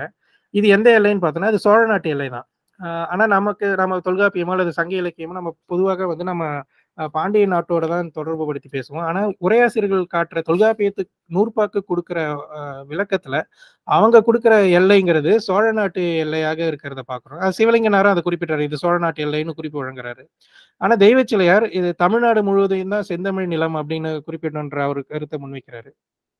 ஆனா பாண்டிய நாட்டோட தொடர்பு படுத்தி சங்கரன் அமைச்சர் ஒரு விளக்கத்தை தர்றாரு செந்தமிழ் நிலமாவது யாதனின்னு அவர் ஒரு செய்யுல கொடுக்குறாரு அவருடைய நன்னூல் விரித்துரையில சந்தன பொதிய செந்தமிழ் முனியும் சவுந்தர பாண்டியன் எனும் தமிழ் நாடனும் சங்கப்புலவரும் தழைத்தினிதிருக்கும் மங்கள பாண்டி வளநாடு என்ப. எனவே செந்தமிழ் நாடுங்கிறது பாண்டி வளநாடு தான் அப்படிங்கிற கருத்து சங்கரன் அமைச்சர் இருக்கு. அது மட்டும் இல்லாமல் அவர் உரையாசிரியர் கருத்தை மறுக்கிறார். இவ்வாறன்றி செந்தமிழ் நிலம் என்பது வைகை ஆற்றின் வடக்கு எனக் கூறுவாரும் உலர் பாண்டியனையே தமிழ்நாடன் என சான்றோர் கூறுதலானும் அகுது உரை அன்று என்க அப்படிங்கிற கருத்தை முன்வைக்கிறார். எனவே இந்த தொல்காப்பியம் எடு- அதனுடைய மொழி தரவு எது என்பது குறித்து உரையாசிரியர் காலகட்டத்திலேயே வந்து மாறுபாடு இருந்திருக்கு. இதன் அடிப்படையில் நாம செய்தால் செய்தால்ன்ற வடிவம் மூல திராவிடத்தில் இரு- இருக்கிறதுனால அது தமிழிலும் சில இடங்கள்லயும் அது வழங்கப்பட்டிருக்கலாம். இருந்தாலும் தொல்காப்பியம் அதனுடைய இலக்கண உருவாக்கத்திற்கு எடுத்துக்கொண்ட மொழி தரவில் செய்தால்ங்கிற வடிவம் இல்லாமல் இருந்திருக்கலாம். அதன் காரணமாக தான் செய்யுங்கிறத தொல்காப்பி முன்னிலைப்படுத்தி இருக்கலாம்னு நாம அந்த வடிவங்களை நம்ம புரிஞ்சுக்கலாம். இதுக்கு வந்து நம்ம இந்த மூல திராவிட பிற திராவிட சொற்களினுடைய பொருத்தி பார்க்கும்போது தான் இந்த மாதிரியான விளக்கங்கள் நமக்கு கிடைக்குது. தமிழின் தனிப்பட்ட வடிவம் மற்ற மூல திராவிடத்தோடையோ இடைக்காலத்திலேயோ தோன்றாமல் தமிழிலேயே உருவான சில தனிப்பட்ட வடிவங்கள்னு அவர் சிலதை காட்டுறாரு. செய்யு செய்பு இந்த வாய்பாட்டு வினையச்சங்களும் செய்வாங்கிற செய்வாம்ங்கிற ஆம் ஈற்று தன்மை பன்மை வடிவமும் தனிப்ப தமிழ் தனிப்பட்ட ஆக்கங்கள்னு அவர் கருதுறாரு.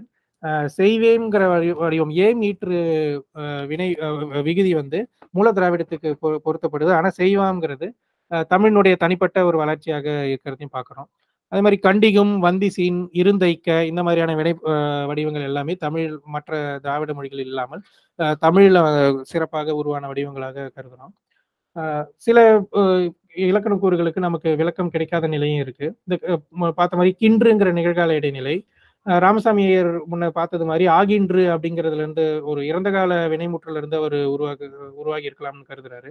ஆனா ஆண்ட்ரனவ் பி. எஸ். சுப்பிரமணியம் போன்றவர்கள்லாம் இக்கு கூட்டல் இன்று அது ரெண்டு வடிவமா பிரிச்சு அந்த இன்றுங்கிறது இல் என்னும் வினைப்பகுதியில இருந்து உருவான இன்றுங்கிற வினைமுற்றாக இருக்கலாம்ங்கிற கருத்தை முன்வைக்கிறாங்க. கால்டுவெல்லும் ரெண்டா பிரிக்கிறாரு. இக்கு கூட்டல் இன்றுன்னு பிரிக்கிறாரு. ஆனா இன்றுங்கிறது அவரை பொறுத்த வரைக்கும் வினைமுற்றாக கருதல அவர் வந்து இப்பொழுது அப்படிங்கிற பொருள் தர ஒரு சொல்லாக அவர் கருதுறாரு. இது இன்று இனிங்கிறது எல்லாமே இப்ப தற்காலத்துல நம்ம இனிமேல் பிற்- பின்னர்ன்ற பொருளை தான் இனிங்கிறத பயன்படுத்துறோம். ஆனா சங்க இலக்கியத்திலோ அல்லது இடைக்கால தமிழிலோ இந்த இன் இனிங்கிற சொல் வந்து இப்பொழுதுன்ற பொருள்ல தான் வந்திருக்கு. எங்கெழுந்து அருளுவது இனியே அப்படின்றதும். எழு இனி நெஞ்சம் இந்த மாதிரியான இடங்கள் எல்லாமே இனிங்கிறது இப்பொழுது அப்படிங்கிற பொருள்ல தான் வருது. அதன் அடிப்படையில கால்டுவெல் பாக்குறாரு. இங்க P. S. Subramaniam P. S. Subramaniam கொடுக்குற ஒரு கருத்து முக்கியமானது. இந்த கின்றுன்றதுக்கு எப்படி இரண்டு வடிவங்களுடைய கூட்டு வடிவம்னு நாம கருதுறோமோ அது மாதிரி பல மொழிகள்லையும் நிகழ்கால இடைநிலைங்கிறது ஒரு கூட்டு வடிவமாக தான் இருந்திருக்கு அப்படிங்கிற கருத்தையும் முன்வைக்கிறார். எனவே கின்றுங்கிறது இரண்டு வடிவங்களுடைய கூட்டு வடிவமாக இருக்கலாம் அப்படிங்கிறதுக்கான ஒரு கருதுகோள் பி. எஸ். சுப்பிரமணியன் அவருடைய கருத்துல இருந்து நமக்கு கிடைக்கிது. விளக்கம் கிடைக்காத நிலைங்கிற இதுல இன்னொரு வடிவமும் இருக்கு. இந்த செய்யா வாய்பாட்டு வினையச்சம் தோற்றம் குறித்தும் சரியான விளக்கம் கிடைக்கல அப்படிங்கிற கருத்தை அவர் முன்வைக்கிறாரு. அஹ், உரையாசிரியர்கள் எல்லாமே செய்யூல இருந்து செய்யா செய்யூனுடைய ஒரு மாற்று வடிவமாக தான் செய்யா எடுப்பாங்க. சுப்பிரமணிய சாஸ்திரியும் சரி தேப்பமியும் அந்த கருத்துக்கு உடன்படுகிறார்கள் ஆனால் வேணுகோபால் ஆறு வந்தவாறு செய்தவாறுன்ற மாதிரியான வரக்கூடிய அந்த ஆறுல இருந்து ஆ வந்திருக்கலாம்ன்ற கருத்தை சொல்றாரு. அது வந்து பொருண்மை நிலையில அது ஒத்து போனாலும் ஒளியினியல் விதிப்படி அந்த ஆறுல இருந்து ஆவை கொண்டு வர்றது சிரமம்னு சித்திரபுத்திரன் அந்த கருத்தை மறுக்கிறாரு. மாதையன் சார் வந்து வேறொரு வகையில செய்யாக்கும் செய்யுக்கும் இடையில வேறுபாடு காட்டி ரெண்டும் வேறு வேற நம்ம கருதணும்ன்ற கருத்தை அவர் முன்வைக்கிறாரு. குறிப்பா செய்யாங்கிறது உடன்பாட்டுலயும் வரும் எதிர்மறையிலையும் வரும். ஆனா செய்யுக்கு அந்த மாதிரியான ஒரு நிலை இல்லை. அதனால செய்யும் செய்யாவை வந்து நம்ம தனித்தனியாக தான் கருதணும்னு சொன்னாலும் கூட செய்யானுடைய தோற்றம் குறித்து இன்னும் முழுமையான விளக்கம் கிடைக்கல அப்படிங்கறது தான் சித்திரபுத்திரன் சார் பேசுறாரு. பயன்பாட்டு பகிர்வு. ஒரே ஒரே வினைக்குரிய விகுதிகள் அவை எந்தெந்த சூழல்ல பயன்படுகின்றன அப்படின்றத பத்தியும் விரிவாக இவர் பேசுறார். இது நமக்கு வந்து வரலாற்று இலக்கணத்தை புரிந்து கொள்வதற்கு நமக்கு வந்து பயனுள்ளதாக தரவுகளாக இது இருக்கு. ஆஹ் முன்பழந்தமிழ்ல தொல்காப்பியம் வந்து முன்னிலை ஒருமை வினை விகுதிகளாக இஐ ஆ இது மூன்றுத்தையும் சொல்லுது. ஆனா இந்த மூணுமே சமநிலையில பயன்பட்டு இருக்கா அப்படின்னு பார்த்தோம்னா முன்பழந்தமிழ்ல அந்த நிலை இல்லைங்கிறத தான் நம்ம இந்த ஆய்வின் அடிப்படையில புரிஞ்சுக்க முடியுது. ஐங்கிறது இறந்த கால வினைகள்ல பெரும்பான்மையாகும். வந்தனை சென்றனை இந்த மாதிரி இறந்த கால வடிவங்கள் அதிகமாக ஐ பயன்படுது. இறப்பல்ல கால வினைகள்ல ஈ பயன்பட்டிருக்கு. வருதி ஆற்றுதி போற்றுதி இந்த மாதிரியான வரக்கூடிய இடங்கள்ல இ- இகரம் பயன்படுது. அஹ் எதிர்மறையில ஆய் வாராய் செல்லாய் காணாய் இந்த மாதிரியான வரக்கூடிய இடங்கள்ல ஆய் விகுதி பயன்பட்டிருக்கு. எனவே தொல்காப்பியம் இது மூணும் முன்னிலைக்கு உரியது முன்னிலை ஒருமைக்கு உரியதுன்னு சொல்லிட்டாலும் கூட அவற்றினுடைய பயன்பாட்டு பகிர்வுல வேறுபாடு இருக்கு அப்படிங்கறத நம்ம புரிஞ்சுக்க முடியுது முன்பழந்தமிழ்ல ஆனா இதே நிலை எல்லா காலகட்டத்திலும் இருக்கான்னு பார்த்தோம்னா முன்பழந்தமிழுக்கு பிறகு எல் பெரும்பான்மையான இடங்கள்ல அந்த இறந்த காலமும் சரி இறப்பல்லா காலமும் சரி எதிர்மறையும் சரி இந்த மூன்று இடத்துலையுமே ஆயினுடைய பயன்பாடு தான் மிகுதியாக வந்திருக்கு. வந்தாய் சென்றாய் அப்படின்றதும் வருவாய் செல்வாய் வருகின்றாய் இந்த மாதிரியான இடங்கள்லையும் வாராய் செல்லாயின்னு அந்த இடங்கள்லையும் கூட எல்லா இடங்கள்லையுமே ஆயினுடைய பயன்பாடு மிகுதியாக இருக்கு அப்படின்றத பார்க்குறோம் இது இதன் காரணமாக வேறொரு மொழி மாற்றமும் நடக்குது. இந்த ஐ வரக்கூடிய இடங்கள் எல்லாமே அன்சாரியை வரும். வந்தனை சென்றனை இப்படிதான் வரும். அப்போ இந்த முன்பழந்தமிழ்ல ஐ மிகுதியாக பயன்பட்டு அதுக்கு பின்னாடி வரக்கூடிய இடங்கள் ஐ பயன்படாமல் போகும்பொழுது அந்த அன்சாரியைக்கான தேவையும் குறையுது. எனவே ஒரு ஒரு மொழிக்கூறு ஒரு மொழியில வந்து வளர்ச்சி அடையவோ அல்லது அதனுடைய வருகை குறையவோ நேரும் பொழுது அதற்கு காரணம் அந்த மொழிக்கூறு மட்டுமே இருந்திருக்காது. அதனுடைய தொடர்புடைய வேறு ஒரு மொழிக்கூறாகவும் மொழிக்கூறவும் அதனுக்கு காரணமாக இருந்திருக்கலாம். சான்றாக வந்து இந்த ஐயினுடைய பயன்பாடு குறைவினால அன்சாரியை பயன்பாடு குறைந்திருக்கு. அப்ப அன்சாரியை ஏன் குறைஞ்சதுன்னு நம்ம யோசிச்சோம்னா அதனோடு தொடர்புடைய அந்த விகுதிகளினுடைய வழக்கம் குறைந்ததுனால கூட இந்த அன்சாரியினோட பயன்பாடு குறைஞ்சிருக்குன்னு ஒரு கருத்தை நம்ம வந்து அடையலாம் எனவே ஒரு மொழிக்குறை வந்து தனிப்பட்ட நிலையில் ஆய்வு செய்யாமல் அதனோடு அதனோடு தொடர்புடைய ப- பிற மொழிக்கூறுகளோடையும் தொடர்புபடுத்தி ஆய்வு செய்யும்போது அது- அதுல அதுல இருந்து நமக்கு புதிய விளக்கங்கள் கிடைக்கும் அப்படிங்கறத நம்ம பார்க்கலாம் செய்யிய செய்யியர் செய்ய வான் பான் இந்த அடிப்படையில் பார்க்கும்போது செய்யிய செய்யியர் வந்து முன்பழந்தமிழில் மிக அதிகமாக பயன்பட்டிருக்கு. ஆனால் அந்த இடத்த வந்து பின்னாடி செயங்கிற செய்யங்கிறது செயங்கிறது முன்னாடியே இருக்கு. ஆனால் செய வாய்ப்பா வாய்ப்பாட்டு பயன்பாட்டு மிகுதியின் காரணமாக செய்யிய செய்யியர் அதனுடைய வருகை குறையுது. அதே மாதிரி வான்பான் இவை இது ரெண்டும் வந்து இடைக்காலத்திலும் பின்பழந்தமிழ்லையும் அதிகமாக பயன்படுறதுனாலையும் கூட முன்பழந்தமிழில் பயன்பட்ட செய்ய செய்யியனுடைய பயன்பாடு குறைஞ்சிருக்கு. எனவே இதன் இது காரணங்கள் அவர் பல இடங்கள்ல சுட்டி காட்டுறதுக்கு ஒரு சான்று இது. செய்ய செய்யியர் குறைவதற்கான காரணம் செய வாய்பாட்டு பயன்பாட்டு மிகுதியும் வான்பான் ஆகிய வினையச்சங்களின் தோற்றமும் இதுக்கு காரணமாக இருக்கும் அப்படிங்கிற அஹ், செய்தியை சொல்றாரு. அந்த நூல்ல அவர் வந்து நம்ம பார்த்த அந்த எல்லா ஒட்டுகளுக்கும் இந்த மாதிரியான பகிர்வை வந்து எல்லாத்துக்குமே ஒரு விரிவாக கொடுக்கறதையும் நம்ம பார்க்குறோம். இஓடிங்கிறது முன்பழந்தமிழ் எல்ஓடி பின்பழந்தமிழ் இஎம்டி முன் இடைக்கால தமிழ் எல்எம்டி பின் இடைக்கால தமிழ். அப்போ எல்லா இடங்கள்லையுமே ஒவ்வொரு வினை ஒட்டும் எந்த அளவுக்கு பயன்பட்டிருக்கு அப்படிங்கிறதுக்கு விரிவாகவே எல்லாத்துக்குமே அவர் காட்டியிருக்காரு. சான்றாக இந்த தன்மை பன்மை விகுதி ஆம்ங்கிறத எடுத்து பார்த்தோம்னா இதுல பார்த்தாலே தெரியும் இந்த ஃபியூச்சர்ல தான் நிறைய இடங்கள்ல அது பயன்பட்டிருக்கு. ஃபியூச்சர் அப்போ ஆம் ஆம்ல இருந்து நம்ம ஒரு கருத்தை உருவாக்கலாம். ஆம்ங்கிற விகுதி எதிர்கால இடைநிலையோட தான் பல இடங்களில் பயன்பட்டிருக்கு. மற்ற இடைநிலைகளோட அது குறைவான இதில் இந்த கருத்தை உருவாக்குவதற்கும் இந்த அட்டவணைகள் பல வழிகளில் நமக்கு துணை புரியுது. இதில் இதுல ஒரு செய்தி மட்டும் நம்ம மறு ஆய்வுக்குரியதாக இருக்கு. இவர் தில்ங்கிற பயன்பாட்டை பற்றி பேசும்பொழுது தில் அடிப்படையில வந்து பல இடங்கள்ல வேங்கோல் விகுதியோட சேர்ந்து தில் வரும். பெயர்க வருக வருகதில் பெயர்கதில்னு வரும். ஆனா இந்த இடத்துல ஒரு சில இடங்கள்ல வினை பகுதியோட நேரடியாகவே இணைந்து வர்றதாக அவர் காட்டியிருக்காரு. அரிதில் வருதில் போகுதில்னு குறுந்தொகையில சில சான்றுகளை காட்டுறாரு. ஆனா மூலத்துல பார்க்கும்போது அது எல்லாமே வினை பகுதியோட இல்லாம அவை அவையும் முழுமையான ஒரு வேங்கோல் வடிவங்களாக இருந்து அதனோட தான் சேருது. அரிதில்னு அவர் காட்டுற இடம் வந்து அரிகதில் தான் இருக்கு. அரிகதில் அம்மை ஊரே. வருதில்ங்கிறது வருகதில் அம்மா தானேன்னு தான் இருக்கு. போகுதில்னு அவர் காட்டுற இடங்கள் வந்து உடனுயிர் போகுகதில்லைன்னு தான் இருக்கு. எனவே அவர் எடுத்து அவர் பயன்படுத்தின அந்த தரவு நூல்ல ஒருவேளை இந்த பிழை இருந்திருக்கலாம். அதன் அடிப்படையில் இந்த கருத்து உருவாயிருக்கலாம். ஆனால் இந்த இடங்கள் எல்லாம் மூலத்துல வந்து இயல்பான வேங்கோலோடு சேர்ந்த தில் தில் இணைந்த ஒரு வடிவமாக தான் இருக்கு. பொதுவாக இந்த நூலினுடைய சிறப்புகளை தொகுத்து பார்க்கும் பொழுது பழந்தமிழ் மற்றும் இடைக்கால தமிழினுடைய வினை அமைப்பினை விரிவாக விளக்குகின்ற ஒரு நூலாக நமக்கு இது அமைந்திருக்கு. பிற திராவிட மொழிகளோட ஒப்பீடுங்கிறது ஒரு ஒவ்வொரு ஒட்டுக்களினுடைய தோற்றத்தை குறித்தும் நமக்கு ஆழமான ஒரு விளக்கத்தை தரக்கூடிய நிலையில் அந்த விளக்கங்கள் இருக்கு. விகுதிகளுடைய பயன்பாட்டு பகிர்வு நமக்கு பல நிலைகளில் அந்த வரலாற்று இலக்கணத்தை உருவாக்குவதற்கு நமக்கு துணை செய்யுது. காட்டியிருக்கக்கூடிய காரணங்களும் கூட ஒரு மொழியினுடைய மாற்றங்களை புரிந்து கொள்வதற்கு நமக்கு உதவியாக இருக்குது அரிய வினை வடிவங்களை சுட்டி காட்டியிருப்பதும் நமக்கு அந்த காலத்து இலக்கியத்தினுடைய வினை அமைப்பை புரிந்து கொள்வதற்கு நமக்கு மிகுதியும் பயனுள்ளதாக இருக்கு. நன்றி.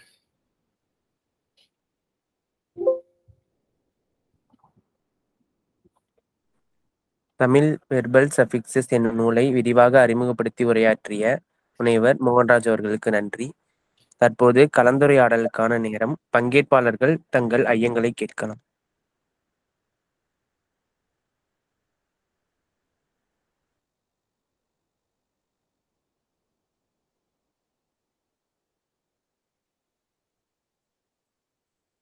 வணக்கம்.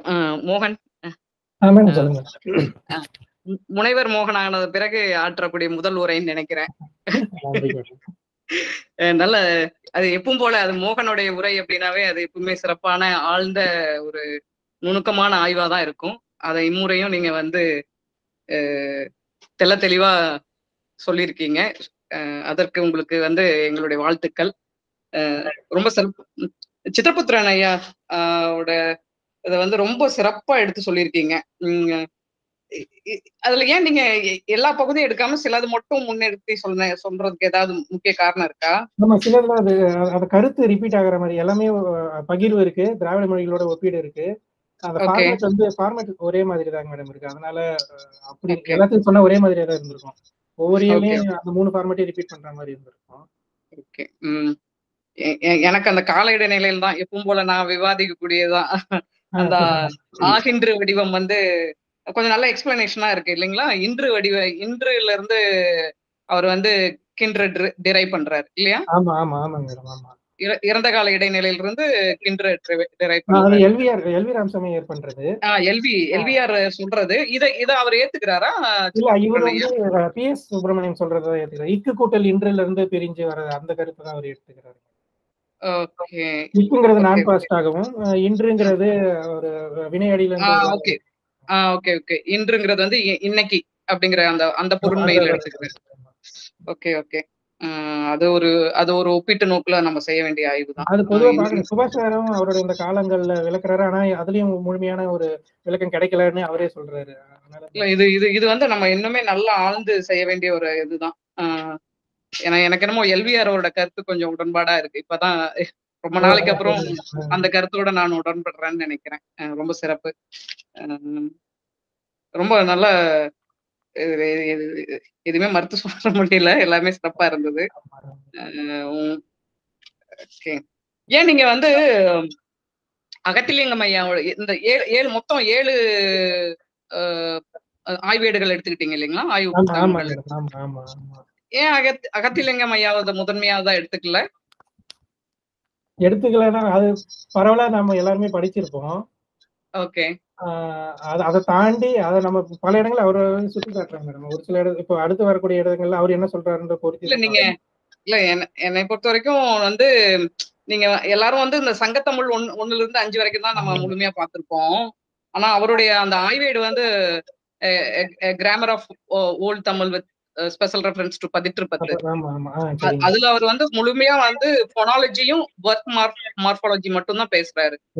அதனால அத கூட முதன்மையானதா எடுத்துக்கலாம். நிறைய இருந்து இருக்குங்க. அது தெரியல. என்னோட அறியாமையே காரணமா இருந்திருக்கும் இல்ல இல்ல இல்ல. அறியாமைன்னு சொல்ல முடியாது. இல்ல அது அதை எடுத்துக்கிட்டீங்கன்னா இன்னும் கொஞ்சம் நல்லா இருக்கும். ஏன்னா எனக்கு தெரிஞ்சு ஆரம்ப நிலையில வேர்ப் மார்பாலஜி இன்டெப்தா அனாலிசிஸ் பண்ணது ஐயாவா தான் இருக்கும்னு எனக்கு தோணுது. அதனால அவர் எல் எல்லாமே வந்து பட்டியலிட்டு சொல்லி சொல்லியிருக்கிறாரு. அதனால அதையும் கருத்துல கொள்ளலாம் அப்படிங்கிறது என்னுடைய. வேண்டுகோள். மத்தவங்க பேசட்டும் இல்லைன்னா நான் அப்புறம் மறுபடியும் பேசுறேன்.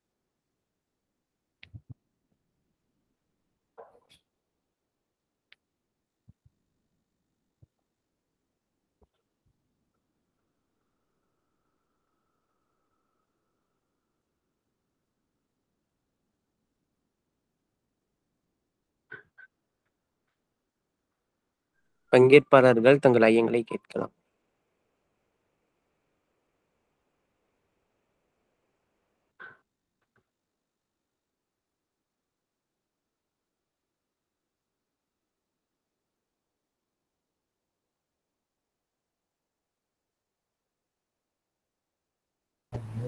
பேராசிரியர் சித்திரபுத்திரன் ஐயாக்கு இணைப்பு கிடைக்கல. ஆ, சரிங்க சார். அவங்களும் அப்படிதான் சொல்லியிருந்தாங்க. வர்றது சில சிக்கல் இருக்குன்னு சொல்லியிருந்தாங்க. வாட்ஸ்அப்புக்கு வழியா போறப்ப மணி போய் நிக்குது. பலமுறை முயற்சி எடுத்தேன். நாமளே தொடரலாம். ஒருவேளை அவங்க இணைந்து இருக்கிறாங்களான்னு தெரியல. நேரடியா அவங்க பேர் இல்ல. வேற எந்த பேர்ல என்னுடைய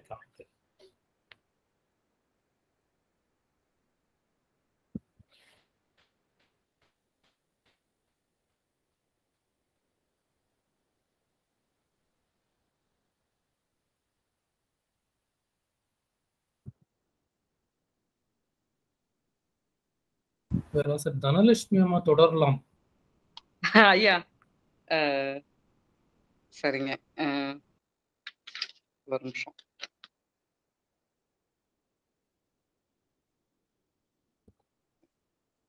அதே மாதிரி இந்த எதிர்மறை வடிவம் அந்த செய்யா ஃபார்ம் ஆமாங்க மேடம். ஐயா வந்து செய்யாதான் முதல்ல எடுத்துக்கிறாரா? இல்ல ஆமா செய்ய அந்த செய்ய ஆகாரம் அந்த ஆன்றது வந்து மூல திராவிடத்துல புரோட்டோ திராவிடன்னே எடுக்கிறாங்க. ஆனா ஆக்குங்கிறது அந்த ஆத்து வந்து புரோட்டோ சவுத் திராவிடியன் தான். அதனால தமிழனுடைய தனிப்பட்ட ஆக்கம் கிடையாது அது. ஆனா பயன்பாடுன்னு வரும்பொழுது செய்யாதான் தொல்காப்பியத்திலையும் சங்க இலக்கியத்துல அதிகமா இருந்திருக்கு. ஆனா தொல்காப்பிய காலத்திலயும் நம்ம அந்த மூல தென்திராவிடத்திலே இருக்கு புரோட்டோ சவுத் திராவிடியன்ல ஆத்து இருந்தாலும் கூட தமிழ் பயன்பாட்டுல ஆ தான் அதிகமா பயன்பட்டு அதனால தான் நம்ம அந்த மொழித்தரவு தொல்காப்பியம் எந்த மொழித்தரவு எடுத்திருக்கோம் அப்படிங்கிற கருத்துக்கு நம்ம போறோம். அப்படி பார்க்கும்போது தொல்காப்பியம் எடுத்துக்கொண்ட அந்த லாங்குவேஜ் டேட்டா அப்படிங்கறதுல செய்யாவை விட செய்யாதங்கிறது இருந்திருக்கு. செய்யாத விட செய்யாங்கிறது தான் அதனுடைய லாங்குவேஜ் அதிகமா இருந்திருக்கும். செய்யாங்கிற ஃபார்ம் தான் அதிகமா நமக்கு. ஏன்னா முன் தமிழ் முன் முன் தமிழ் முன் பழந்தமிழ் காலத்துல இருக்கக்கூடிய எல்லா டேட்டாலையும் செய்யா ஃபார்ம் தான். ஆமா இருக்கு ஆமா, அது அகத்திலிங்கமையா அது சரியான பட்டியல் கொடுத்திருக்காரு. முன் பழந்தமிழ்ல இருக்கிறதுல வந்து எல்லாமே செய்யாதான். செய்யா ஃபார்ம் தான் வருது. அதுக்கு பின்னாடி தான் செய்யாத ஃபார்ம் வருது. அதே மாதிரி இந்த ஒரு இந்த ஃபார்ம் சொன்னீங்க இல்லையா? எனக்கு அது ஆச்சரியமா இருந்தது. புரோட்டோ டிராவிடியன்ல வந்து வந்தாளா? ஆள் ஆள் இல்லைன்னு ஆமா ரீகன்ஸ்ட்ரக்ட் பண்ண மாட்டேங்கிறாங்க. புரோட்டோ recon- ஆள் ஃபெமினின் சிங்குலர் இல்லங்கிறத பி எஸ் ரீகன்ஸ்ட்ரக்ட் இல்ல இல்ல இல்ல இல்ல இல்ல இந்த கண்டிஷனல் கண்டிஷனல் செய்யின் பார்ட்டிசிபல் செய்தால் செய்யின் செய்தால் ஆஹ் செய்யின் செய்தால் செய்யின் வந்து நீங்க வந்து. பின்னாடி பின்னாடி வந்த வடிவம் செய்தால் தான் முன்னாடி வந்த வடிவம்னு சொன்னீங்க இல்லையா? அது கொஞ்சம் அது அதுதான். அது அது அது யாரு என்ன சொன்னது? எனக்கு செய்தால் ஃபார்ம் வந்து புரோட்டோ டிரைவிடியன் இல்லையா? ஓகே. செய்ங்கிறது புரோட்டோ சவுத் டிரைவிடியன் தான். ஆனா அங்கேயும் அந்த செய்யா செய்யாத ரிவர்ஸ் தான் நடந்திருக்கு. செய்யின் அதிகமா. இருக்கு. செய்தால். குறைவா இருக்கு தமிழ்ல. ஓகே. ஆனா செய்தால் புரோட்டோ டிரைவிடியனோட தொடர்பு இருக்கு. ஓகே. அதான் இப்ப ராசாராம் சொல்றது மாதிரி தொல்காப்பியர் எடுத்துக்கிட்ட மொழி தரவு என்னன்றத நம்ம அந்த- இதுக்குள்ள கட்டமைக்கலாம் நம்மால ஏன்னா இதுபடி பார்த்தா தொல்காப்பியர் காலத்துல செய்தாலும் இருந்திருக்கு செய்யணும் இருந்திருக்கு. அது வந்து அதான் அது நம்ம அகத்திலிங்கம் ஐயா மறுபடியும் சொல்றப்போ அது ஒரு ஆக்சிடென்டல் கேப் அப்படின்னு சொல்லுவாரு. அந்த அந்த அந்த அந்த சொல்லாட்சி அதுக்கு பயன்படுத்துவாரு. It's an accidental gap. ஒரு காலகட்டத்துல இருந்திருக்கு அப்புறம் இடையில இல்ல மறுபடியும் அடுத்த காலகட்டத்துல ரொம்ப காலகட்டத்துக்கு. பிறகு மறுபடியும் அது வந்திருக்கும். அப்ப அது இடையில இல்லாததுனால இல்லாம போயிருக்காது. அது நம்ம நம்ம வந்து தெரியாம விடுபட்டிருப்போம். அதனால இட்ஸ் அன் ஆக்சிடென்டல் கேப் அப்படின்னு சொல்லிட்டு ரெண்டு மூணு சொற்கள் வந்து அதுக்கு உதாரணமா கூட காமிச்சிருப்பாரு. ஆஹ் ஆஹ் actually அத்தி ஐயை போன்ற சொற்கள் வந்து ஆஹ் முன்பழந்தமிழ் காலத்துல நூல்கள்ல இருக்கும். அப்புறம் பின்பழந்தமிழ் காலத்து நூல்கள்ல இருக்காது. ஆனா அது மறுபடியும் வந்து சிலப்பதிகாரம் மணிமேகலையில அந்த சொற்களை வந்து நம்மளால காண முடியும் அப்படின்னு சொல்லியிருப்பாரு. இட்ஸ் அன் ஆக்சிடென்டல் கேப்பா கூட இருந்திருக்கலாம்.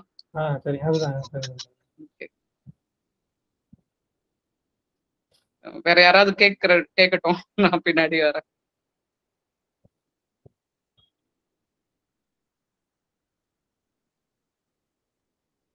அண்ணா வணக்கம். எனக்கு சில சந்தேகங்கள் சொல்லுங்க சார் ஆஹ் அந்த சகரத்து சகரத்தை பத்தி சொல்லும்போது அந்த மொழி மாற்றம்ங்கிறதுல அது அது வந்து ஒலி மாற்றம் அப்படின்னு ஆஹ் சொன்னீங்கல்ல. ஆமா. அது வந்து நம்ம அப்படி பார்க்க முடியுமா? அதாவது அந்த சகரங்கிற ஒரு ஆஹ் எழுத்து வடிவம் ஒண்ணா இருக்கு. அதுக்கு த நமக்கு வந்து பல்வேறு ஒலி வடிவங்கள் தானே இருக்கு. இப்ப சகரம் மட்டும் இல்ல நமக்கு வே- வேறு சில எழுத்துக்கள் இப்ப ககரம் டகரம் எல்லாத்துக்குமே அப்படி இருக்கு. அப்ப வந்து அதை நம்ம ஒலி மாற்றோம். முன்னாடி ஒரு ஒலி தான் இருந்துச்சு இல்லை பின்னாடி அந்த புதுசா ஒரு ஒலி சேர்ந்துச்சுங்கிற மாதிரி சொல்ல முடியுமாண்ணா ஆமா இப்ப நம்ம இது அது ஒரு கருத்தா தான் முன்வைக்கிறாங்க இப்ப சா- சாவை வந்து நம்ம வல்லெழுத்துல தான் சேர்க்கிறோம். இக்கு இச்சு இட்டு.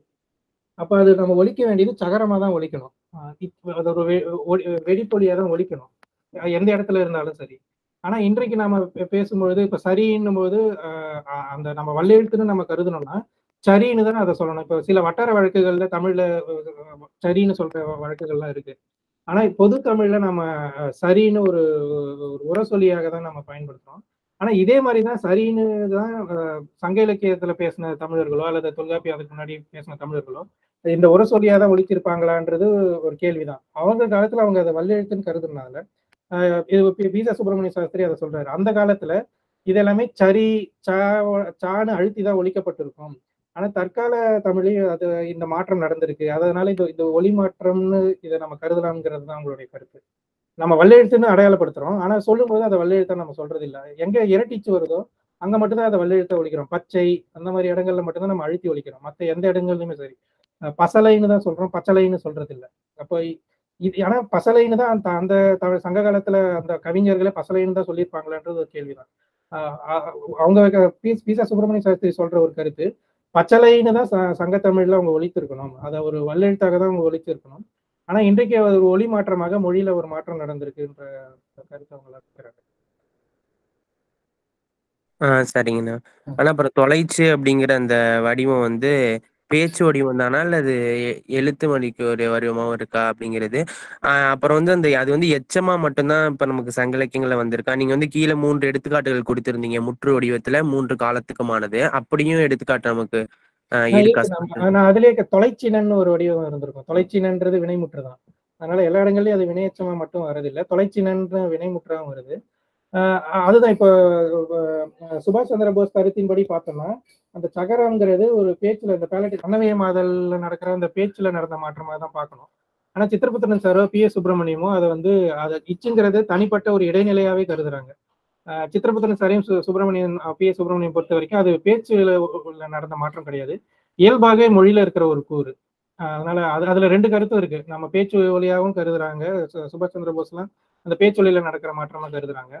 ஆஹ் சார் போன்றவங்கெல்லாம் அது இயல்பான ஒரு வடிவமாக பேச்சு வடிவமும் இல்லாம எல்லா இடத்துலயுமே பயன்படுத்தக்கூடிய ஒரு ஒரு- வடிவமாக தான் அவங்க பாக்குறாங்க. ஆனா எனக்கு எனக்கு வந்து இப்படி சொல்றது சரியான்னு தெரியல. ஆனா இப்ப ஆஹ் நமக்கு மூன்று காலத்துக்குமான எடுத்துக்காட்டு இருக்குன்னா அதை வந்து நம்ம இயல்பாவே வடிவமாவே கருதலாம்னு தோணுது. இல்ல வந்து இப்ப இறந்த காலத்துக்கு மட்டும் இருக்குன்னா இப்ப இத்து அப்படிங்கிறது இறந்த காலத்துல மட்டும்தான் நமக்கு வருது. அப்ப அதோட மாற்றமா தான் தொலைச்சி இருக்குன்னு நம்ம கருதலாம். இறந்த காலத்துக்கு மட்டுமான சான்று இருந்தா இல்ல மூன்று காலத்துக்குமான சான்று இருந்தா அது இயல்பான வடிவமாவே கருதலாம்னு நினைக்கிறேன் இல்ல அது மூன்று காலத்தையும் இத்து பயன்படாது இல்ல நம்ம அது பாக்கணும் நீங்க சொல்றத. இத்துங்கிறது இறந்த கால இடைநிலை தான் அடிப்படையில. அது வேற எங்கேயும் வராது. ஆஹ் அதான் அப்ப வந்து இத்த அது இறந்த காலத்துக்கு மட்டும்தான் நமக்கு தொலைச்சி வந்திருக்குன்னா அது அந்த தொலைத்து அப்படிங்கறதோட வடிவ மாற்றம் அப்படின்னு கருதலாம். அதான் ரெண்டு கருத்து இருக்கு. நீங்க சொல்ற கருத்து தான். சரிங்கண்ணா. ஆனா அப்புறம் கடைசியா ஒண்ணு இந்த இருண்டு இருளு அப்படிங்கிறது ஆஹ் சொன்னீங்களா அப்ப இருட்டி அப்படிங்கிறது ஒரு சொல் நம்ம இப்ப இப்ப இருக்கிறதுல கேக்குறேன். இப்ப அது அதுவும் வந்து அதே பொருளுடைய சொல் தானே? ஆமா ஆமா. இருட்டி. ஆமா. இருட்டிங்கிறது வினைச்சமா வருதான்னு பார்க்கணும் ஆஹ் ஆனா வந்து அது வந்து இப்ப நமக்கு இதுல இல்லைங்களா சங்கரிக்கத்துல ஆஹ் இருண்டுன்ற நக- நகரம் அந்த இருள்ங்கிறது நகரமாக வர்ற வடிவம் தான் இருக்கு நான் இருட்டி பாக்குறேன். இருட்டி இருட்டிங்கிறது வினைச்சமா வருமானம்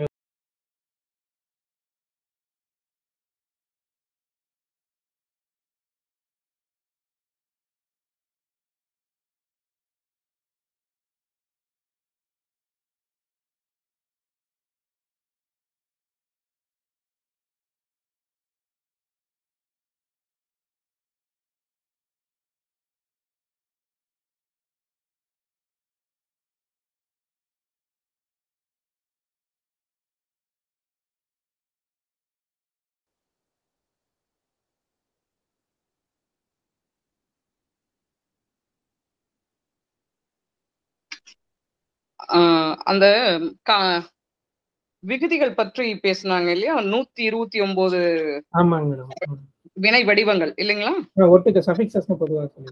ஒட்டுக்க சஃபிக்சஸ்னு பொதுவாக விகுதி எல்லாமே சேர்த்து ஓ எல்லாத்தையுமே சேர்த்து ஒன் டுவெண்ட்டி நைன் சஃபிக்சஸ்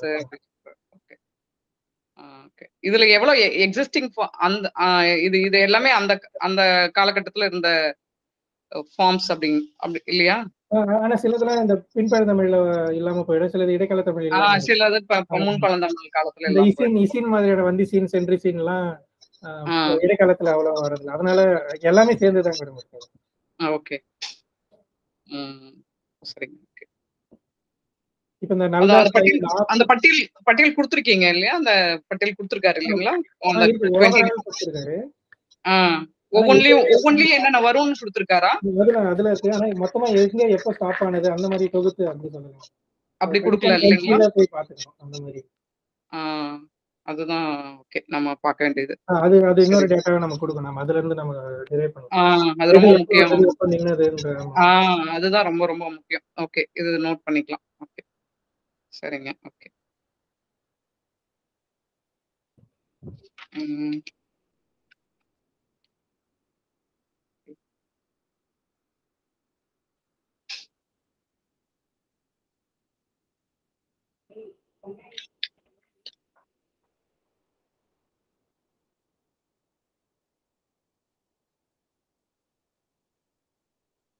இவரு நம்மாழ்வார் ஒரு டேட்டாவும் எடுத்து அனலைசிஸ் பண்ணிருக்காருங்களா என்ன? நாலாயிரத்தி இருபத்தி முழுமையாக எடுத்திருக்காரு. ஓ நாலாயிரத்தி ஆமா அது நீங்க சொல்லல என்னென்ன நூல் நூல் வந்து அவருடைய தரவுகளாக எடுத்துக்கிட்டாங்க ஆய்வு சும்மா ஒரு ஸ்லைட்ல காட்டியிருந்தேங்க மேடம் ஆ காமிச்சிங்களா? ஆ இருந்துச்சு மேடம். காமிங்க ஒரே நிமிஷம். அது நிமிஷம். மட்டும்.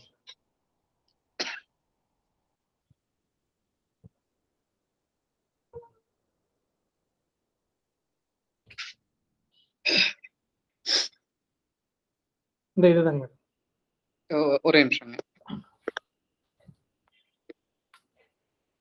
Okay okay. ஓ பின்னிடை காலம் ஓகே ரைட். சரி ஓகே.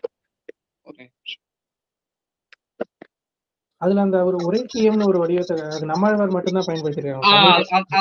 அதனாலதான் நான் கேட்டேன் நான். இது இதை நான் பார்க்கல இந்த ஸ்லைடு எப்படி மிஸ். பண்ணேன்னு தெரியல. நான் அந்த பின்பழந்தமிழ் வரைக்கும் தான் பார்த்தேன். அதுக்கப்புறம் முன்னிடை காலம் பின்னிடை காலம் ரெண்டுமே எடுத்திருக்காரு. ஓகே. ஓகே அப்ப அவர் வந்து இன்னும் இன்னும் கொஞ்சம் கூடுதலா அகத்திலிங்கம் ஐயா வந்து பின் பழந்தமிழ் காலத்தோட நிறுத்திடுவாரு. ஒரு அதுக்கப்புறம் முன்னிடை காலம் பின்னிடை காலம் இது ரொம்ப ஆமா. பின்னாடி நம்மளுக்கு நமக்கு இதுல அவ- அவ்வளவா தரவுகள் இல்ல. மிடில் தமிழுக்கு நமக்கு ரொம்ப ரொம்ப ரொம்ப குறைவு. ஆய்வு ஆய்வு வந்து ரொம்ப குறைவு. அப்ப இதை எடுத்து பண்ணியிருந்தாங்கன்னா. இதுலயுமே இப்ப கம்பராமாயணம் மிஸ் ஆயிருக்கு. கம்பராமாயணத்தை சேர்த்து நம்ம பார்க்கலாம். பின்னடை காலத்துல பெரிய புராணம் வில்லி பாரதத்தோட இருக்கு. ஆமா. கம்பராமாயணம் சேர்க்கும் போது வேற சில நமக்கு டேட்டா கிடைக்கும். okay. அரசேந்திரன் ஐயாவோட தீசஸே கம்பராமாயணம் அடியொட்டி தான். ஆமா ஆமா. ஓமைகள் ஓமைகள். ஆனா சொல்லாய்வு கிடையாது. ஓமைகள் மட்டும் எடுத்திருப்பாரு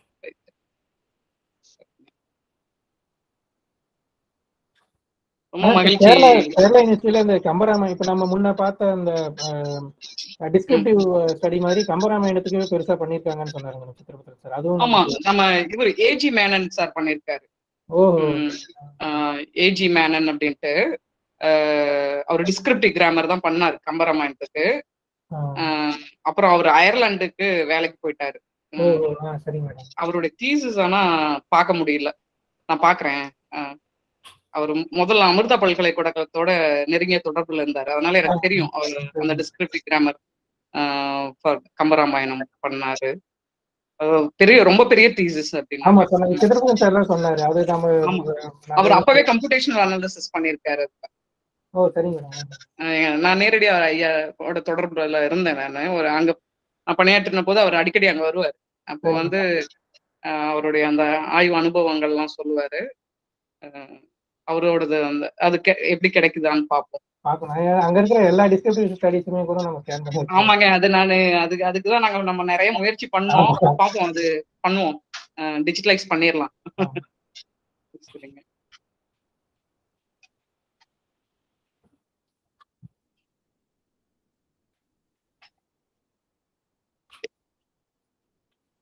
இப்போ நம்மளுக்கு எல்லாமே கிடைக்குது. நற்றிணை மட்டும் கிடைக்கல இல்லைங்களா? நம்மளுக்கு டிஜிட்டல் ஆண்டியர் பிள்ளை அது கிடைக்கலைங்க மேடம் இவர் நட்டினை காமாட்சிநாதன் பண்ணியிருக்காரு அதுவும் கிடைக்கல. அதுவும் கிடைக்கல.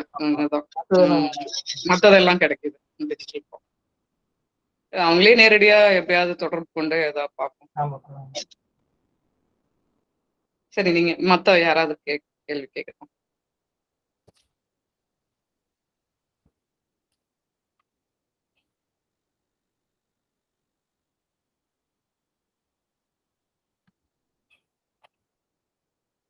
பங்கேற்பாளர்கள் கேள்விகள் இருப்பின் காலம் தாழ்த்தாமல் கேட்கலாம். இல்லையெனில் நாம் முடித்துக் கொள்ளலாம்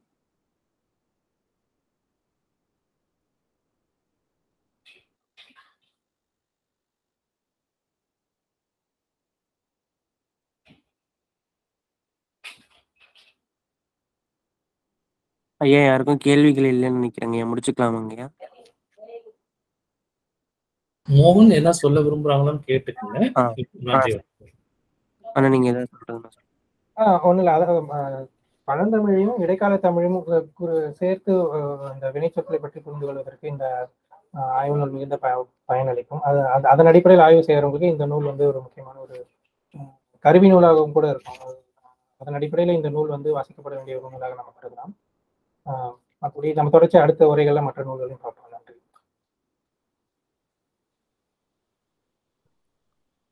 நன்றிண்ணா முடிச்சுக்கலாமாங்கண்ணா முடிச்சுக்கலாம் தற்போது இந்நிகழ்வு இத்துடன் முடிவுறுகிறது. முறைப்படியான நன்றியுரையை எம் துறை ஆய்வாளர் பிரபு வழங்கும். அனைவருக்கும் வணக்கம். ஜவஹர்லால் நேரு பல்கலைக்கழகம் புதுதில்லி தமிழ் பிரிவு சார்பாக நடைபெற்ற பதினைந்தாவது நூல் அறிமுக உரைக்கு வருகை தந்த அனைவருக்கும் நன்றி. மேலும் தமிழ் வினையியல் ஆய்வுகள் என்னும் நூலை அறிமுகம் செய்த முனிவர் டி மோகன்ராஜ் அவர்களுக்கு எங்களது நன்றி. மேலும் இந்நிகழ்வில் கலந்து கொண்ட அனைவருக்கும் ஜேஎன்யூ தமிழ் பிரிவு சார்பாக நன்றியை தெரிவித்துக் கொள்கிறேன். மேலும் இத்தொடர்பின் இத்தொடரின் அடுத்த நிகழ்வு அடுத்த மாதம் நான்காம் திங்கள் நடைபெற உள்ளதால் அந்நிகழ்விலும் பங்கேற்குமாறு அன்போடு கேட்டுக்கொள்கிறேன். நன்றி. அனைவருக்கும் நன்றி. அஹ் இந்த நிகழ்வோட பதிவு செய்யப்பட்ட காணொளி ஜேஎன்யூ தமிழ் பிரிவின் யூடியூப் சேனலான ஆய்வரம் என்பதில் விரைவில் பதிவேற்றப்படும். நன்றி.